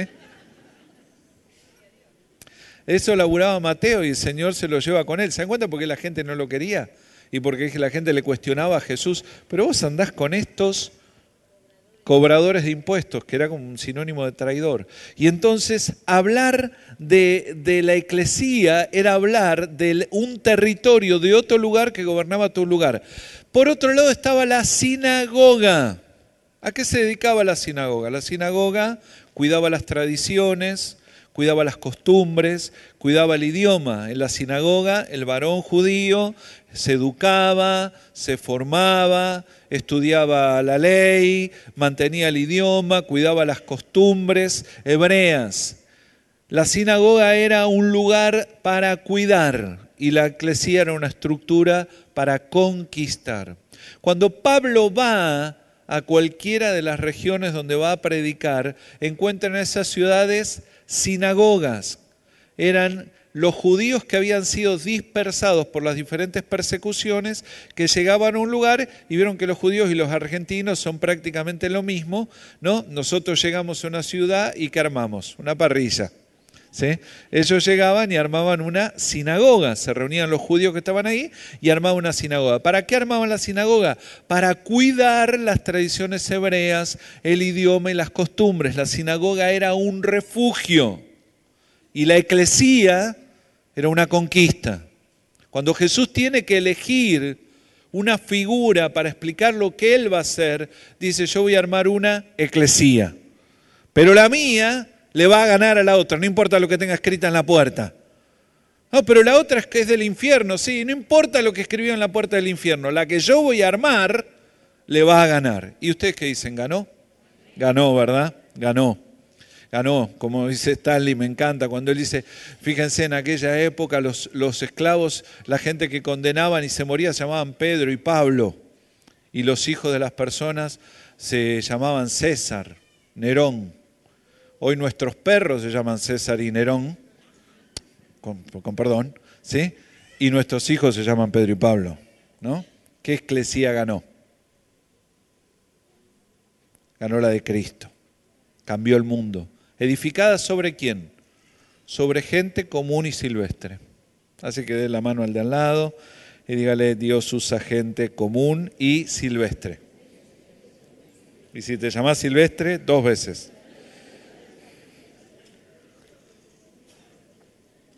No eligió Jesús la figura del refugio. Por eso algunos cristianos que creen que la iglesia es como una sinagoga, pero cristiana, están equivocados en la sustancia de la idea de Jesús. La sustancia de la idea de Jesús es una eclesía, un lugar que avanza, un lugar de conquista, un lugar que ve esto y dice, no puede ser, hagamos algo. Mis hermanos, vamos a resolver esto.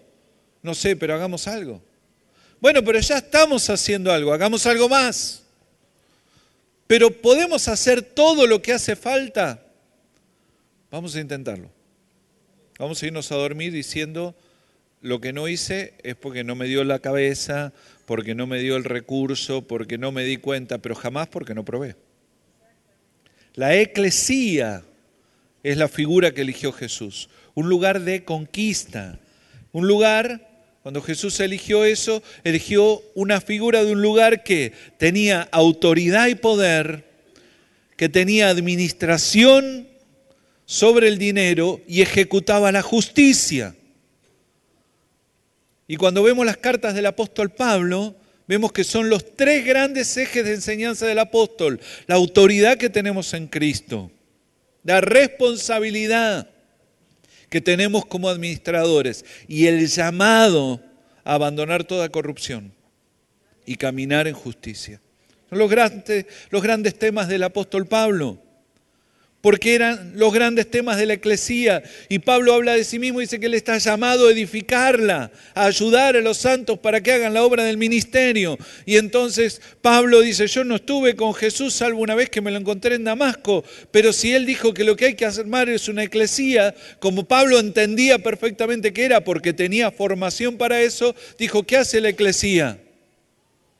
Se dedica al tema de la justicia, se dedica al tema de la autoridad se dedica al tema de la administración. Hagamos que la iglesia haga lo mismo, que administre correctamente. No solamente lo material, sino cualquier recurso que tenga en la mano. Sea dinero o sean corazones, que administre bien. que sea justa, que camine libre de la corrupción. Dice el apóstol Pedro en segunda de Pedro capítulo 2, que cualquier cambio que queramos ver en la calle donde empieza, mis hermanos, dice que el juicio empieza por la casa. Empieza por la casa. No pueden pararse los cristianos tan libres de cuerpo a decir que se acabe toda corrupción. Lo primero que tiene que revisar cada uno de nosotros en su vida personal es estar libre de toda corrupción. Antes de alzar la voz para acusar a nadie más, primero miramos nuestra propia vida. Y después de mirar nuestra propia vida en lo personal, miramos nuestra vida como cuerpo. Y ahí recién nos animamos a condenar. Ahora, exhortar y enseñar siempre, pero condenar, dice la palabra en Gálatas 4, que está permitido cuando tu obediencia sea perfecta. ¿Cómo andan? ¿Ya tienen la obediencia perfecta? Porque si no la tienen, yo al menos no la tengo, no condenemos. Enseñar, sí. Declarar lo que está mal, sí. Condenar, ojo. Está permitido cuando nuestra obediencia sea perfecta. Ahora, si alguno tiene la obediencia perfecta, condene tranquilo. ¿Sí? Si alguno acá dice yo hago todo bien, dele con todo, condene nomás. ¿Sí? Condene a su hija, a su hijo, condene al gobierno o condene al vecino. Pero solamente eso se puede hacer libre de pecado cuando yo me puedo parar delante de Dios a decir, hola, soy Juana Pérez, hago todo bien.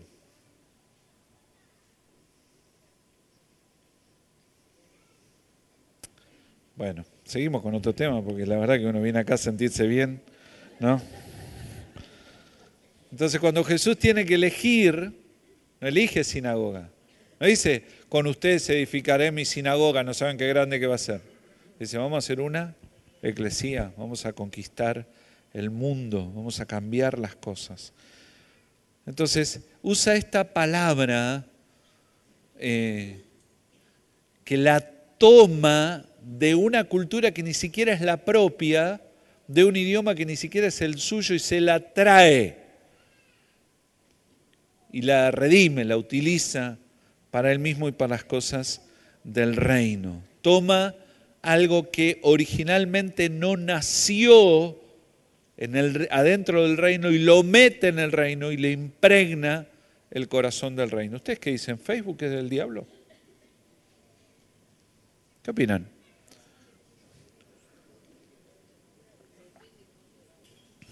¿Y Twitter? Twitter un poquito del diablo, ¿no es? ¿Vieron que el pajarito tiene una parte que tiene como unos cuernitos, ¿no vieron? ¿No es un poquito del diablo Twitter? ¿La tele? ¿Qué opinan? Es el uso que le damos, ¿no?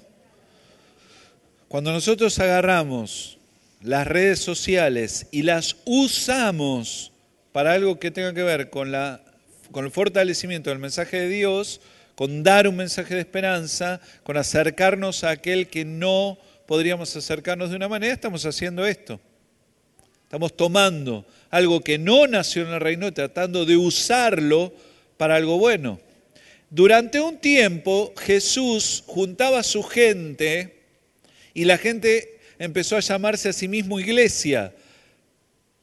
Durante un tiempo pasaba que Pedro le decía a Juan, che, juntamos la eclesía y todavía existía la fortaleza llamada eclesía. Así que alguno que escucharía de afuera diría, ¿van a la eclesía? Sí. ¿A la fortaleza? No. Es una nueva, más grande. Con esa vamos a cambiar el mundo. ¿Sí? Así que hay un proceso de transformación que ejecuta la eclesía, la iglesia de Cristo, no la institución, la iglesia de Cristo, como cuerpo, como cosa espiritual, más allá del cartel en la puerta, como cosa espiritual, como cuerpo, como unidad. La palabra dice que los que le han abierto el corazón a Jesús son parte de su iglesia, que los que lo invitaron a Jesús a vivir adentro son parte de su iglesia. No, pero yo voy a la iglesia unidos venceremos. Y el otro va a Cristo para todos y el otro va a Cristo para todos y todas. ¿Sí? ¿Y cuál es la verdadera? La verdadera iglesia es la reunión espiritual, es el cuerpo espiritual de aquellos que creen en Cristo y le han entregado su vida. Todos los que están acá esta mañana, ¿son cristianos aunque estén en una iglesia cristiana? Chequee con quién se sentó, por favor. ¿Sí? Dese vuelta, mire para el costado. Si no lo conoce, pregúntele, ¿le abriste tu corazón a Jesús? No, yo voy a otra iglesia, no importa. Es otra congregación, porque iglesia hay una sola. ¿Sí? Entonces, esta es la idea. El libro de Efesios nos plantea todo un, la carta a los Efesios, perdón, toda una, situación que nosotros esta mañana vamos a usar como inspiración. Entonces, ¿cuántos trajeron la Biblia? A ver, muéstrenla. Bueno, escúchenme una cosa. Los que trajeron la Biblia digital se les van a necesitar el de al lado. Porque tienen que tener abierto Hechos 19 y además la carta a los Efesios. Ahí se te complicó, ¿no? ¿Qué hago? ¿Vengo con dos celulares el domingo que viene? Tengo que tener abierto Hechos 19 y al mismo tiempo la carta a los Efesios. ¿Sí? ¿Está bien? Entonces, para hacerlo fácil esta mañana, vamos a pegarle una mirada rápido a lo que le pasa a Pablo cuando llega a Éfeso. Hechos capítulo 19. Dice así, que entre tanto que Apolos, que era un discípulo que predicaba el Evangelio, estaba en Corinto, Pablo, después de recorrer la región superior, es decir, el norte, vino a Éfeso. Allá algunos discípulos, les terminó de instruir explicándole quién era el Espíritu Santo y ministrándolos, los bautizó, y entonces dice el versículo 8 que Pablo lo primero que hizo fue entrar a la sinagoga, porque el Pablo mismo dice que su carga central eran las ovejas de Israel. Entonces él siempre arrancaba yendo a una sinagoga. ¿Por qué Pablo encuentra sinagoga en Éfeso? Bueno, por lo que decíamos antes, porque por las persecuciones que habían sufrido los judíos, había judíos en todos lados. Entonces, cuando llegaban a un lugar, se juntaban y armaban una sinagoga. A veces la sinagoga era una casa. A veces era un lugar más grande, dependiendo de la cantidad de gente que juntaran y el permiso que tuvieran de reunirse. Dice que se quedó ahí en la sinagoga cuánto tiempo? Tres meses. Este es el apóstol Pablo. O sea, el apóstol Pablo escribió nuevo, medio Nuevo Testamento. ¿Ustedes qué dicen? En hablar, enseñar y argumentar. ¿La tenía Pablo? Más o menos, ¿usted cómo, cómo lo ven? ¿Cómo andaba Pablo? ¿Con apuntes? andaba con el celular diciendo no me acuerdo bien dónde era que estaba escrito. No, ¿verdad? Era la persona que Dios había escogido para escribir la mitad del Nuevo Testamento. Así que Pablo de sabiduría y conocimiento clarísimo. Sin embargo, dice que estuvo tres meses. A veces algunos de nosotros nos hartamos de alguien porque eh, no logramos guiarlo a Cristo en dos charlas. ¿No les pasó? No, le hablé de Cristo, pero no entiende nada. ¿Pero cuánto le hablaste? Y le hablé, dos veces le hablé. Eh, Pablo acá se come tres meses, tres meses.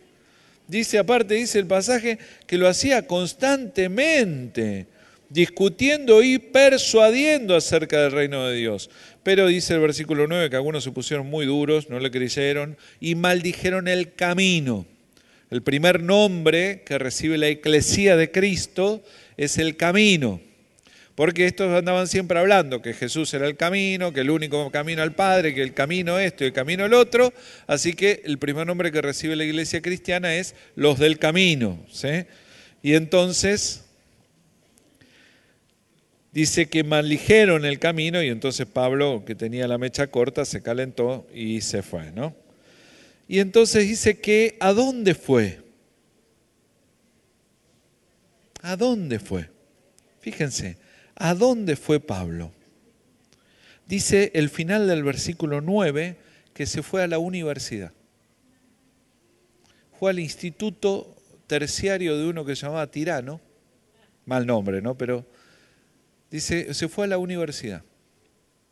Había un tipo que se llamaba Tirano, tenía una universidad, tenía una escuela de filosofía, y entonces fue y le dijo Pablo, escúchame, eh, yo ando dando unos cursos sobre una filosofía oriental y un enviado de Dios. Eh, y claro, los griegos que creían que había dioses para todo, estaba el dios del árbol, el dios del mosquito, el dios de esto, el dios del otro, le calzó. Y entonces Pablo elaboró dos años de profesor eh, dando una materia en la escuela de Tirano. Eso, a eso es lo que se refiere el pasaje. Estuvo ahí dos años. No sabemos si era una materia anual que la dio dos años seguidos o era semestral y la dio cuatro veces. Pero como haya sido, ahí estuvo Pablo. Dijo, me fue mal en la sinagoga. Estoy levantando la eclesía en Éfeso. ¿Dónde la tengo que instalar? ¿Qué hago? Me voy a alquilar un localcito y le voy a poner nosotros los del camino. Me voy a cantar una samba, ¿sí? Y no, Dijo Pablo, voy a, voy a, voy a eh, arrancar un localcito que se llame Iglesia eh, Paulina eh, La Rosa de Sarón. no lo entiende nadie qué quiere decir, ¿no? No tengo problema que una iglesia se llame así, pero la verdad que no se entiende. Entonces, no, tipo se fue donde estaba la gente, porque estaba levantando una eclesía. Y la eclesía está es un territorio de otro lugar en este lugar. Entonces Pablo dijo, ¿cómo toco Éfeso? ¿Qué hace esta gente? ¿Dónde está la gente que decide? Y se fue a la universidad. Entendió Pablo que la eclesía tiene un ministerio docente, tiene que enseñar muy fuerte. Tiene que hablar muy fuerte de las verdades de Dios y enseñar muy fuerte. ¿Y cuánto tiempo estuvo ahí de profesor universitario? Dos años, dos años, dice el versículo 10, por espacio de dos años, de manera que todos los que habitaban en Asia, judíos y griegos, oyeron la palabra del Señor. ¿Habrán sido todos, todos, todos? Bueno, no sabemos, pero evidentemente la historia dice, Eusebio dice que la escuela de Tirano era una universidad muy bien conceptuada a la que iba a estudiar gente de todos lados. Por eso Pablo va ahí. Porque el tipo agarra y dice, si yo siembro la palabra en los alumnos que tengo en el curso, estos después se van a sus regiones y se llevan la palabra adentro. Eclesía.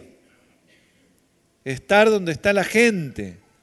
Estar metidos en el medio del balurdo, en medio del despiole, bien ahí. Entonces se va lo de tirano. ¿Habría otras escuelas en Éfeso? Sí, mis hermanos, Éfeso es una ciudad muy grande, con un puerto muy importante, con uno de los templos de peregrinación más importantes de la antigüedad. Había otro montón de escuelas, pero dice Eusebio que la de Tirano era muy bien conceptuada, dice Eusebio. Entonces Pablo buscó la famosa, la que recibía gente de todos lados, para que desde ahí salieran misioneros de Éfeso a todas las regiones conocidas.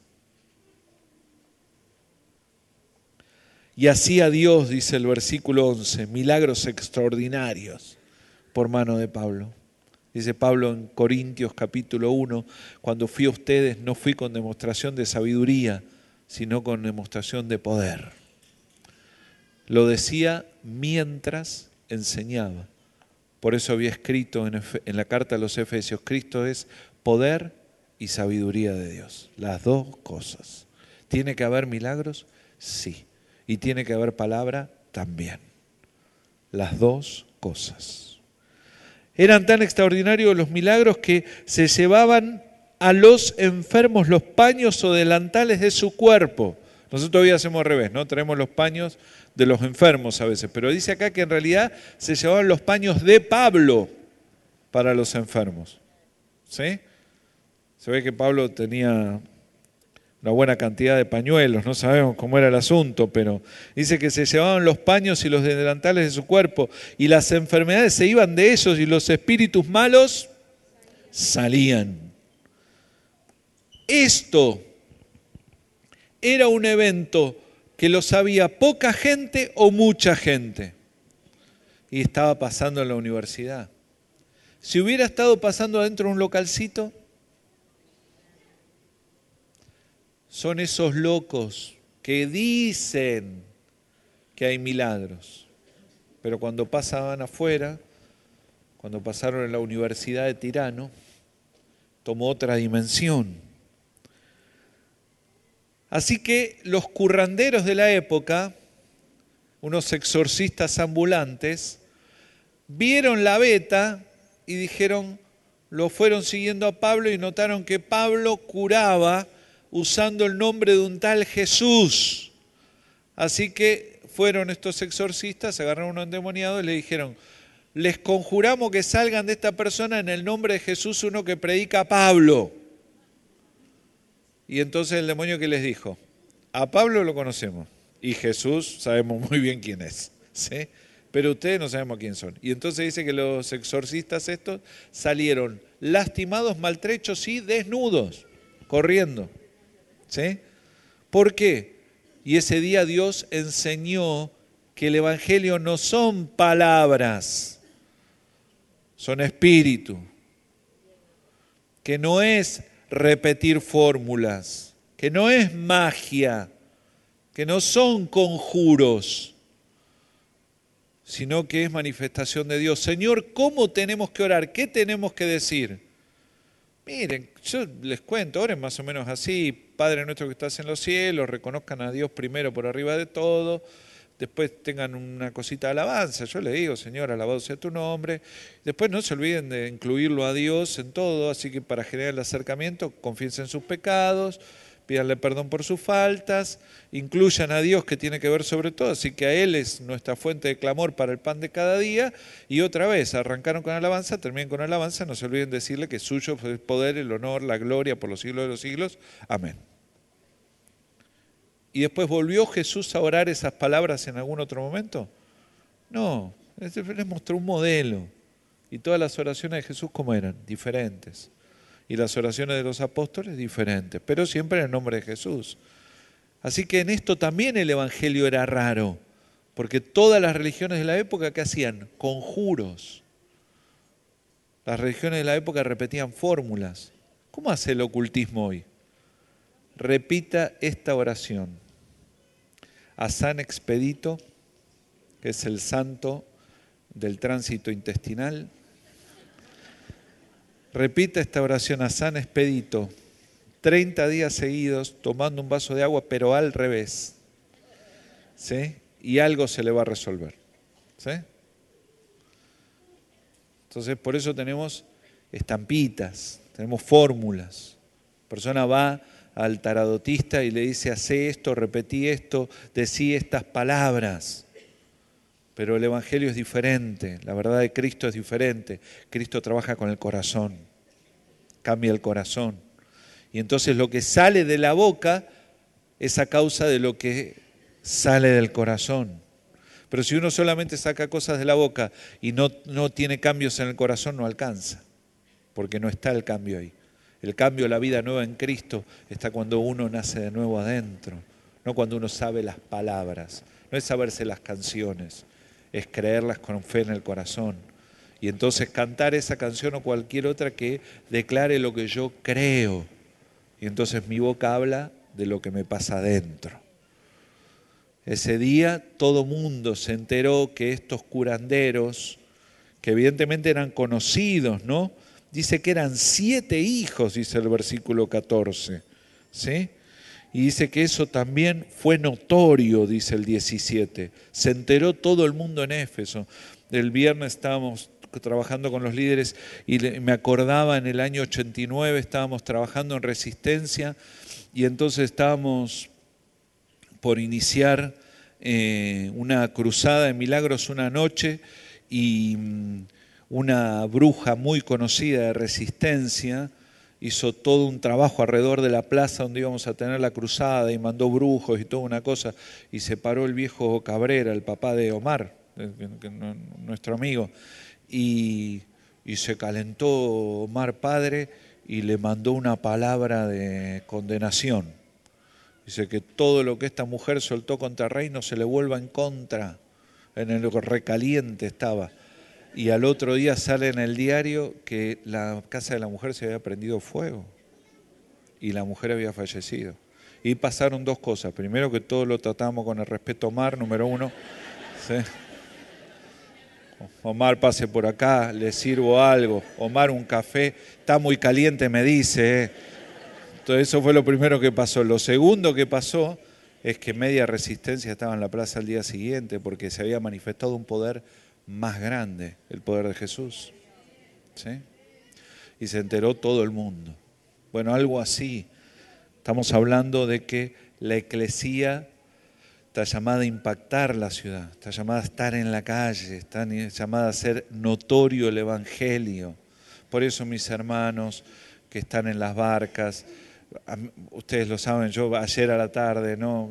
todos los sábados, una es maravilloso buchar los sábados y toda la semana y uno ve las barcas acá reunidas geniales. Háganlo, pues yo entiendo que a veces uno necesita un momento de intimidad para la oración, para la administración, pero hagan cada tanto la barca en la plaza. Tengan por lo menos una barca por mes en la plaza. Tengan por lo menos una barca por mes en un bar. ¿Sí? alguno en la barca que pueda pagar cinco o seis cafés debe haber. ¿Sí? Tengan la barca en un bar tengan la barca sentados en el shopping, tengan las barcas en la plaza. Ahora, si ustedes tienen que hacer la barca, eh, yo entiendo que a veces uno tiene que, como líderes, ¿no? Los líderes tienen la carga, tienen que atender su gente, ministrarla, pastorearla, enseñarla, y a veces eso es difícil en un lugar público, lo entiendo, pero tengan por lo menos una barca afuera. Tengan por lo menos una barca. Miren, tenemos más de 200 barcas. Si nosotros tuviéramos por lo menos una barca afuera, y yo lo voy a empezar a hacer con la mía. ¿Sí? Si tenemos una por mes, tenemos 200 eventos en la calle por mes. Es bastante. Sumen a esto que el Ministerio de Niños regularmente todos los meses se va a la calle a hacer algo. Y adolescentes regularmente todos los meses va a la calle a hacer algo. Más todo lo que hacen todo otro montón de ministerios. Mis hermanos, eso haría notorio el Evangelio más de lo que es. Ahora, estamos agradecidos por lo que tenemos, porque la ciudad nos respeta, nos conoce, las oportunidades de servicio son cada vez más importantes. El lunes me llamaron para formar un grupo que va a tomar una responsabilidad sobre la administración de una cosa que se llama el presupuesto participativo.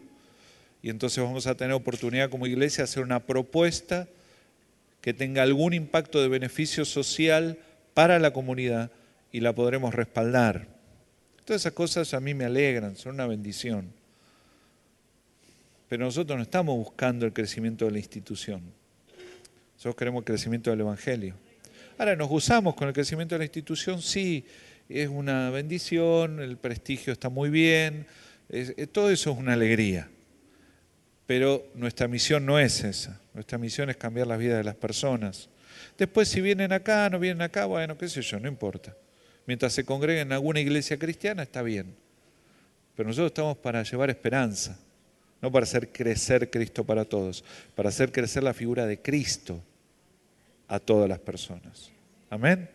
Entonces, tengan la barca en Buchar, es genial, pero tengan aunque sea una barca por mes fuera de Buchar. ¿Sí? Algunos de ustedes dicen, no, la hacemos en el barrio. Pues si la hacen en el barrio adentro del living de tu casa, es lo mismo. Hacela en tu barrio si vas a invitar a los vecinos. Si no vas a invitar, hacela acá en el parque, que de última por lo menos estamos juntos.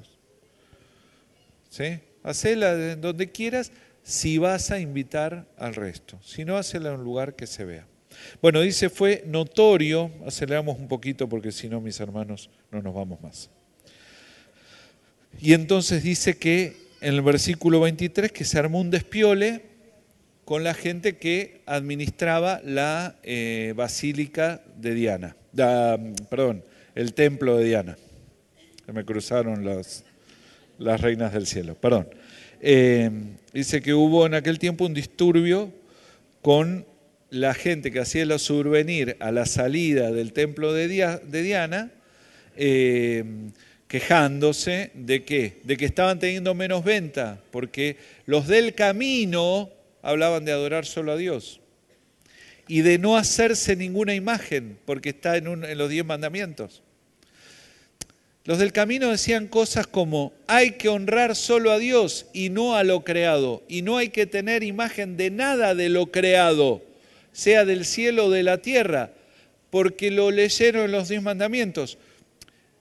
Es como dice el catecismo católico, que no hay que adorar a lo creado, ni hacerse imagen de nada, ni tener ningún tipo de imagen, ni adorarla, ni reverenciarla, ni rendirle honra sea alguien del cielo o de la tierra y que la honra está restringida solo a Cristo.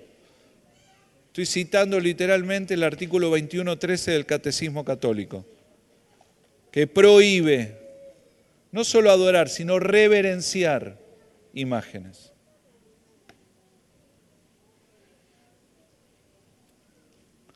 Entonces, ese despiole vuelve todavía más notorio el Evangelio y se arma un lío bárbaro y lo llaman a Pablo y a sus seguidores y entonces cuando se arma el lío, Pablo, ¿dónde genera el debate? Dice, ¿por qué no nos juntamos en, en la sala de profesores de la escuela de Tirano? No, dice, vamos al Areópago. O sea, juntémonos en Plaza Brown y discutámoslo. Todo para el apóstol Pablo era una ocasión para hacer notorio el Evangelio. Todo.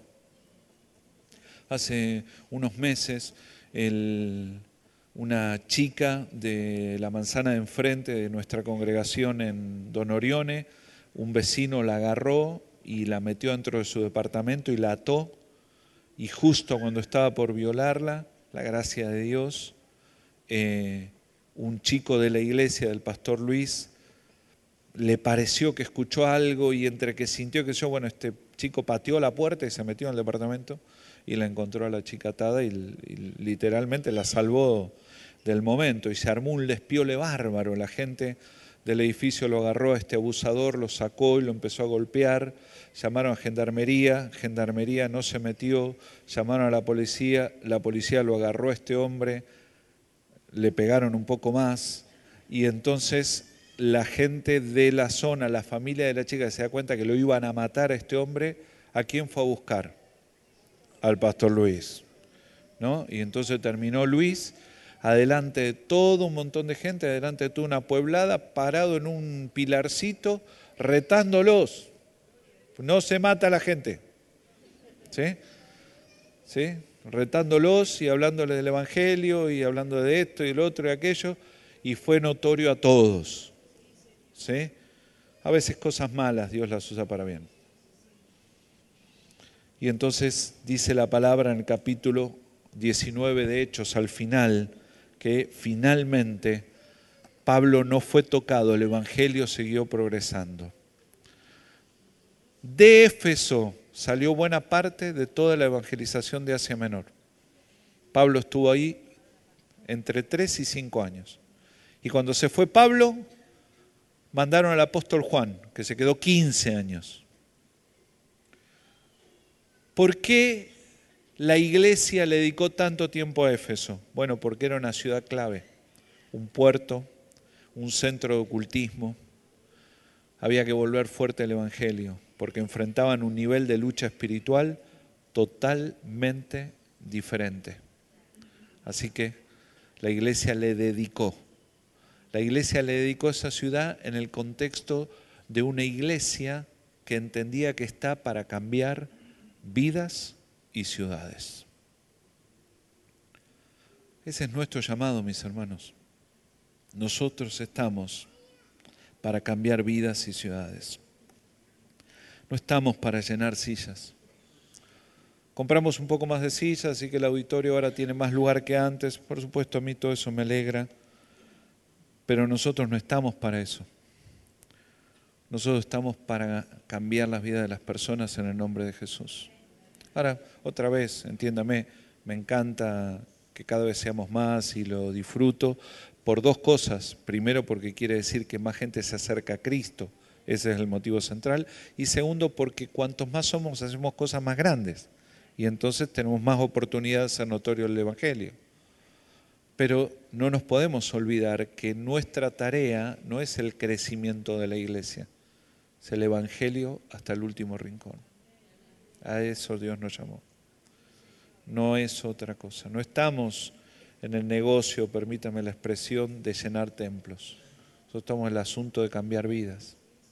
Nuestro llamado es ese. Y no nos podemos equivocar. Ser este tipo de iglesia a veces genera despioles, como los que tuvo el apóstol Pablo. Pero esa es nuestra identidad.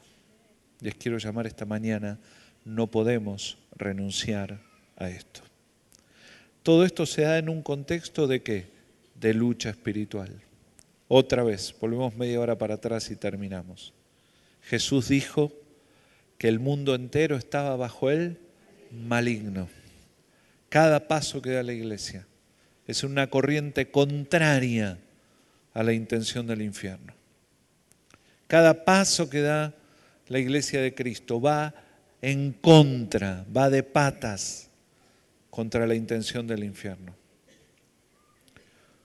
¿Qué hará la iglesia? ¿Apretar los dientes y darle para adelante? Sí, pero mantenerse como guerreros espirituales. Les quiero llamar esta mañana a la oración a la intercesión, a la guerra espiritual. Les quiero llamar esta mañana a ser gente que está preocupada por el prójimo, que guerrea por el otro. Les quiero llamar a orar más y a estar más en la calle, en el nombre de Jesús. Es estar en la calle lo que hacemos en las villas, es estar en la calle el semillero, es estar en la calle todo eso. Pero además de lo que hacemos formalmente, es estar en la calle cuando tomamos la barca y nos vamos a una plaza o nos sentamos en un bar. Eso también. Yo sé, Timoneles, que a algunos de tus pescadores les da vergüenza hablar de Cristo en público. Ayúdalos porque la palabra dice que el que se avergüenza de Cristo, Cristo se avergonzará de él. Así que ayúdalo a que lo supere. Pero mientras lo supera, pone tu barca en la calle. Pone tu barca en la plaza, pone la barca en un bar, pone la barca en una esquina. Si vas a tener un rato de oración por la ciudad, tenerlo en la puerta, tenerlo en la calle, tenerlo en un bar, tenerlo en una plaza, tenerlo en la esquina, en el nombre de Jesús. Les quiero llamar a la oración y hacer este tipo de iglesia que está todo el tiempo preocupado por lo que pasa de esas puertas para allá, en el nombre de Jesús. En el nombre de Jesús. Si estás acá esta mañana y nunca antes le abriste tu corazón a Jesús, no te puedes ir esta mañana sin tratar, sin dar un paso, sin avanzar en entregarle tu vida a Cristo y comenzar este camino. Entonces, hermanos, vamos a ponernos de pie.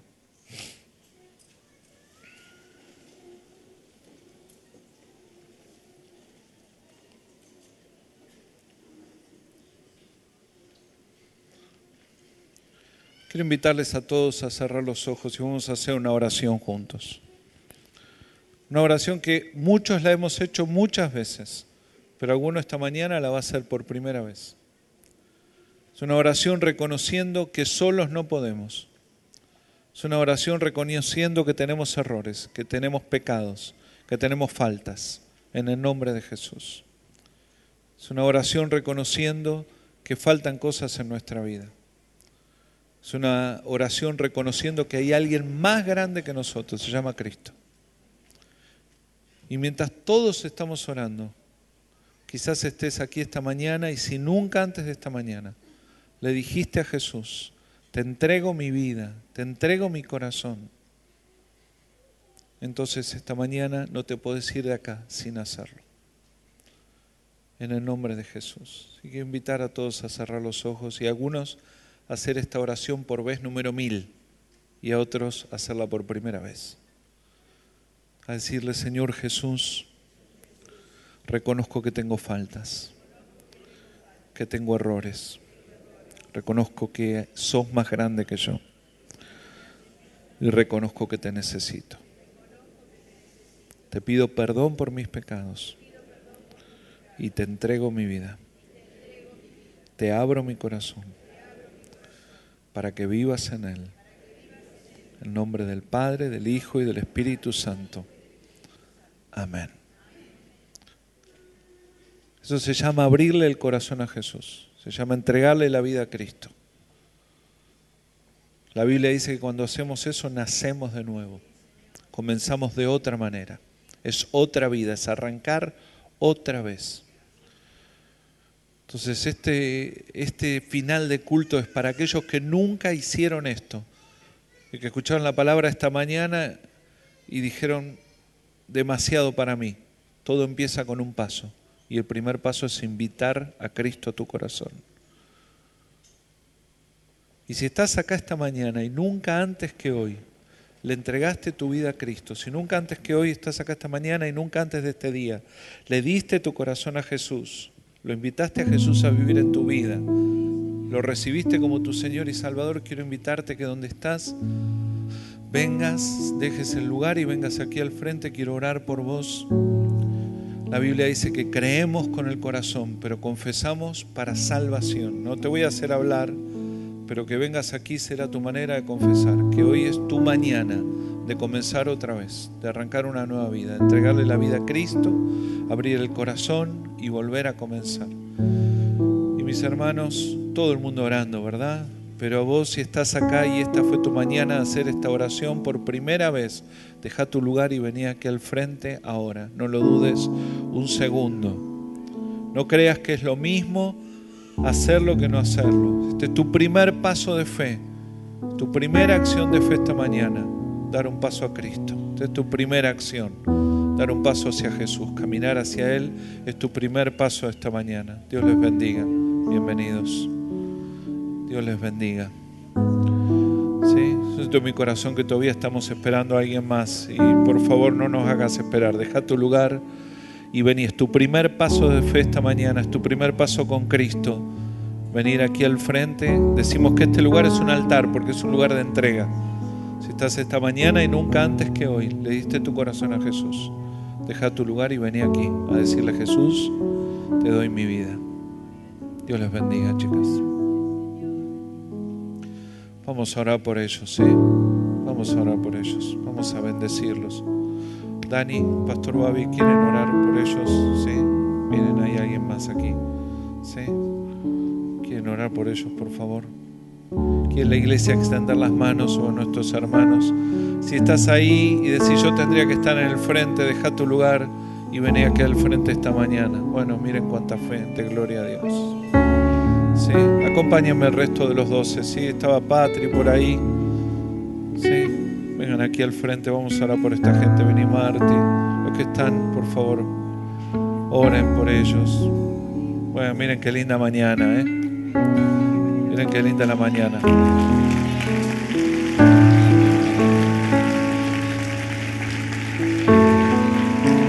Mis hermanos que ya son de Cristo.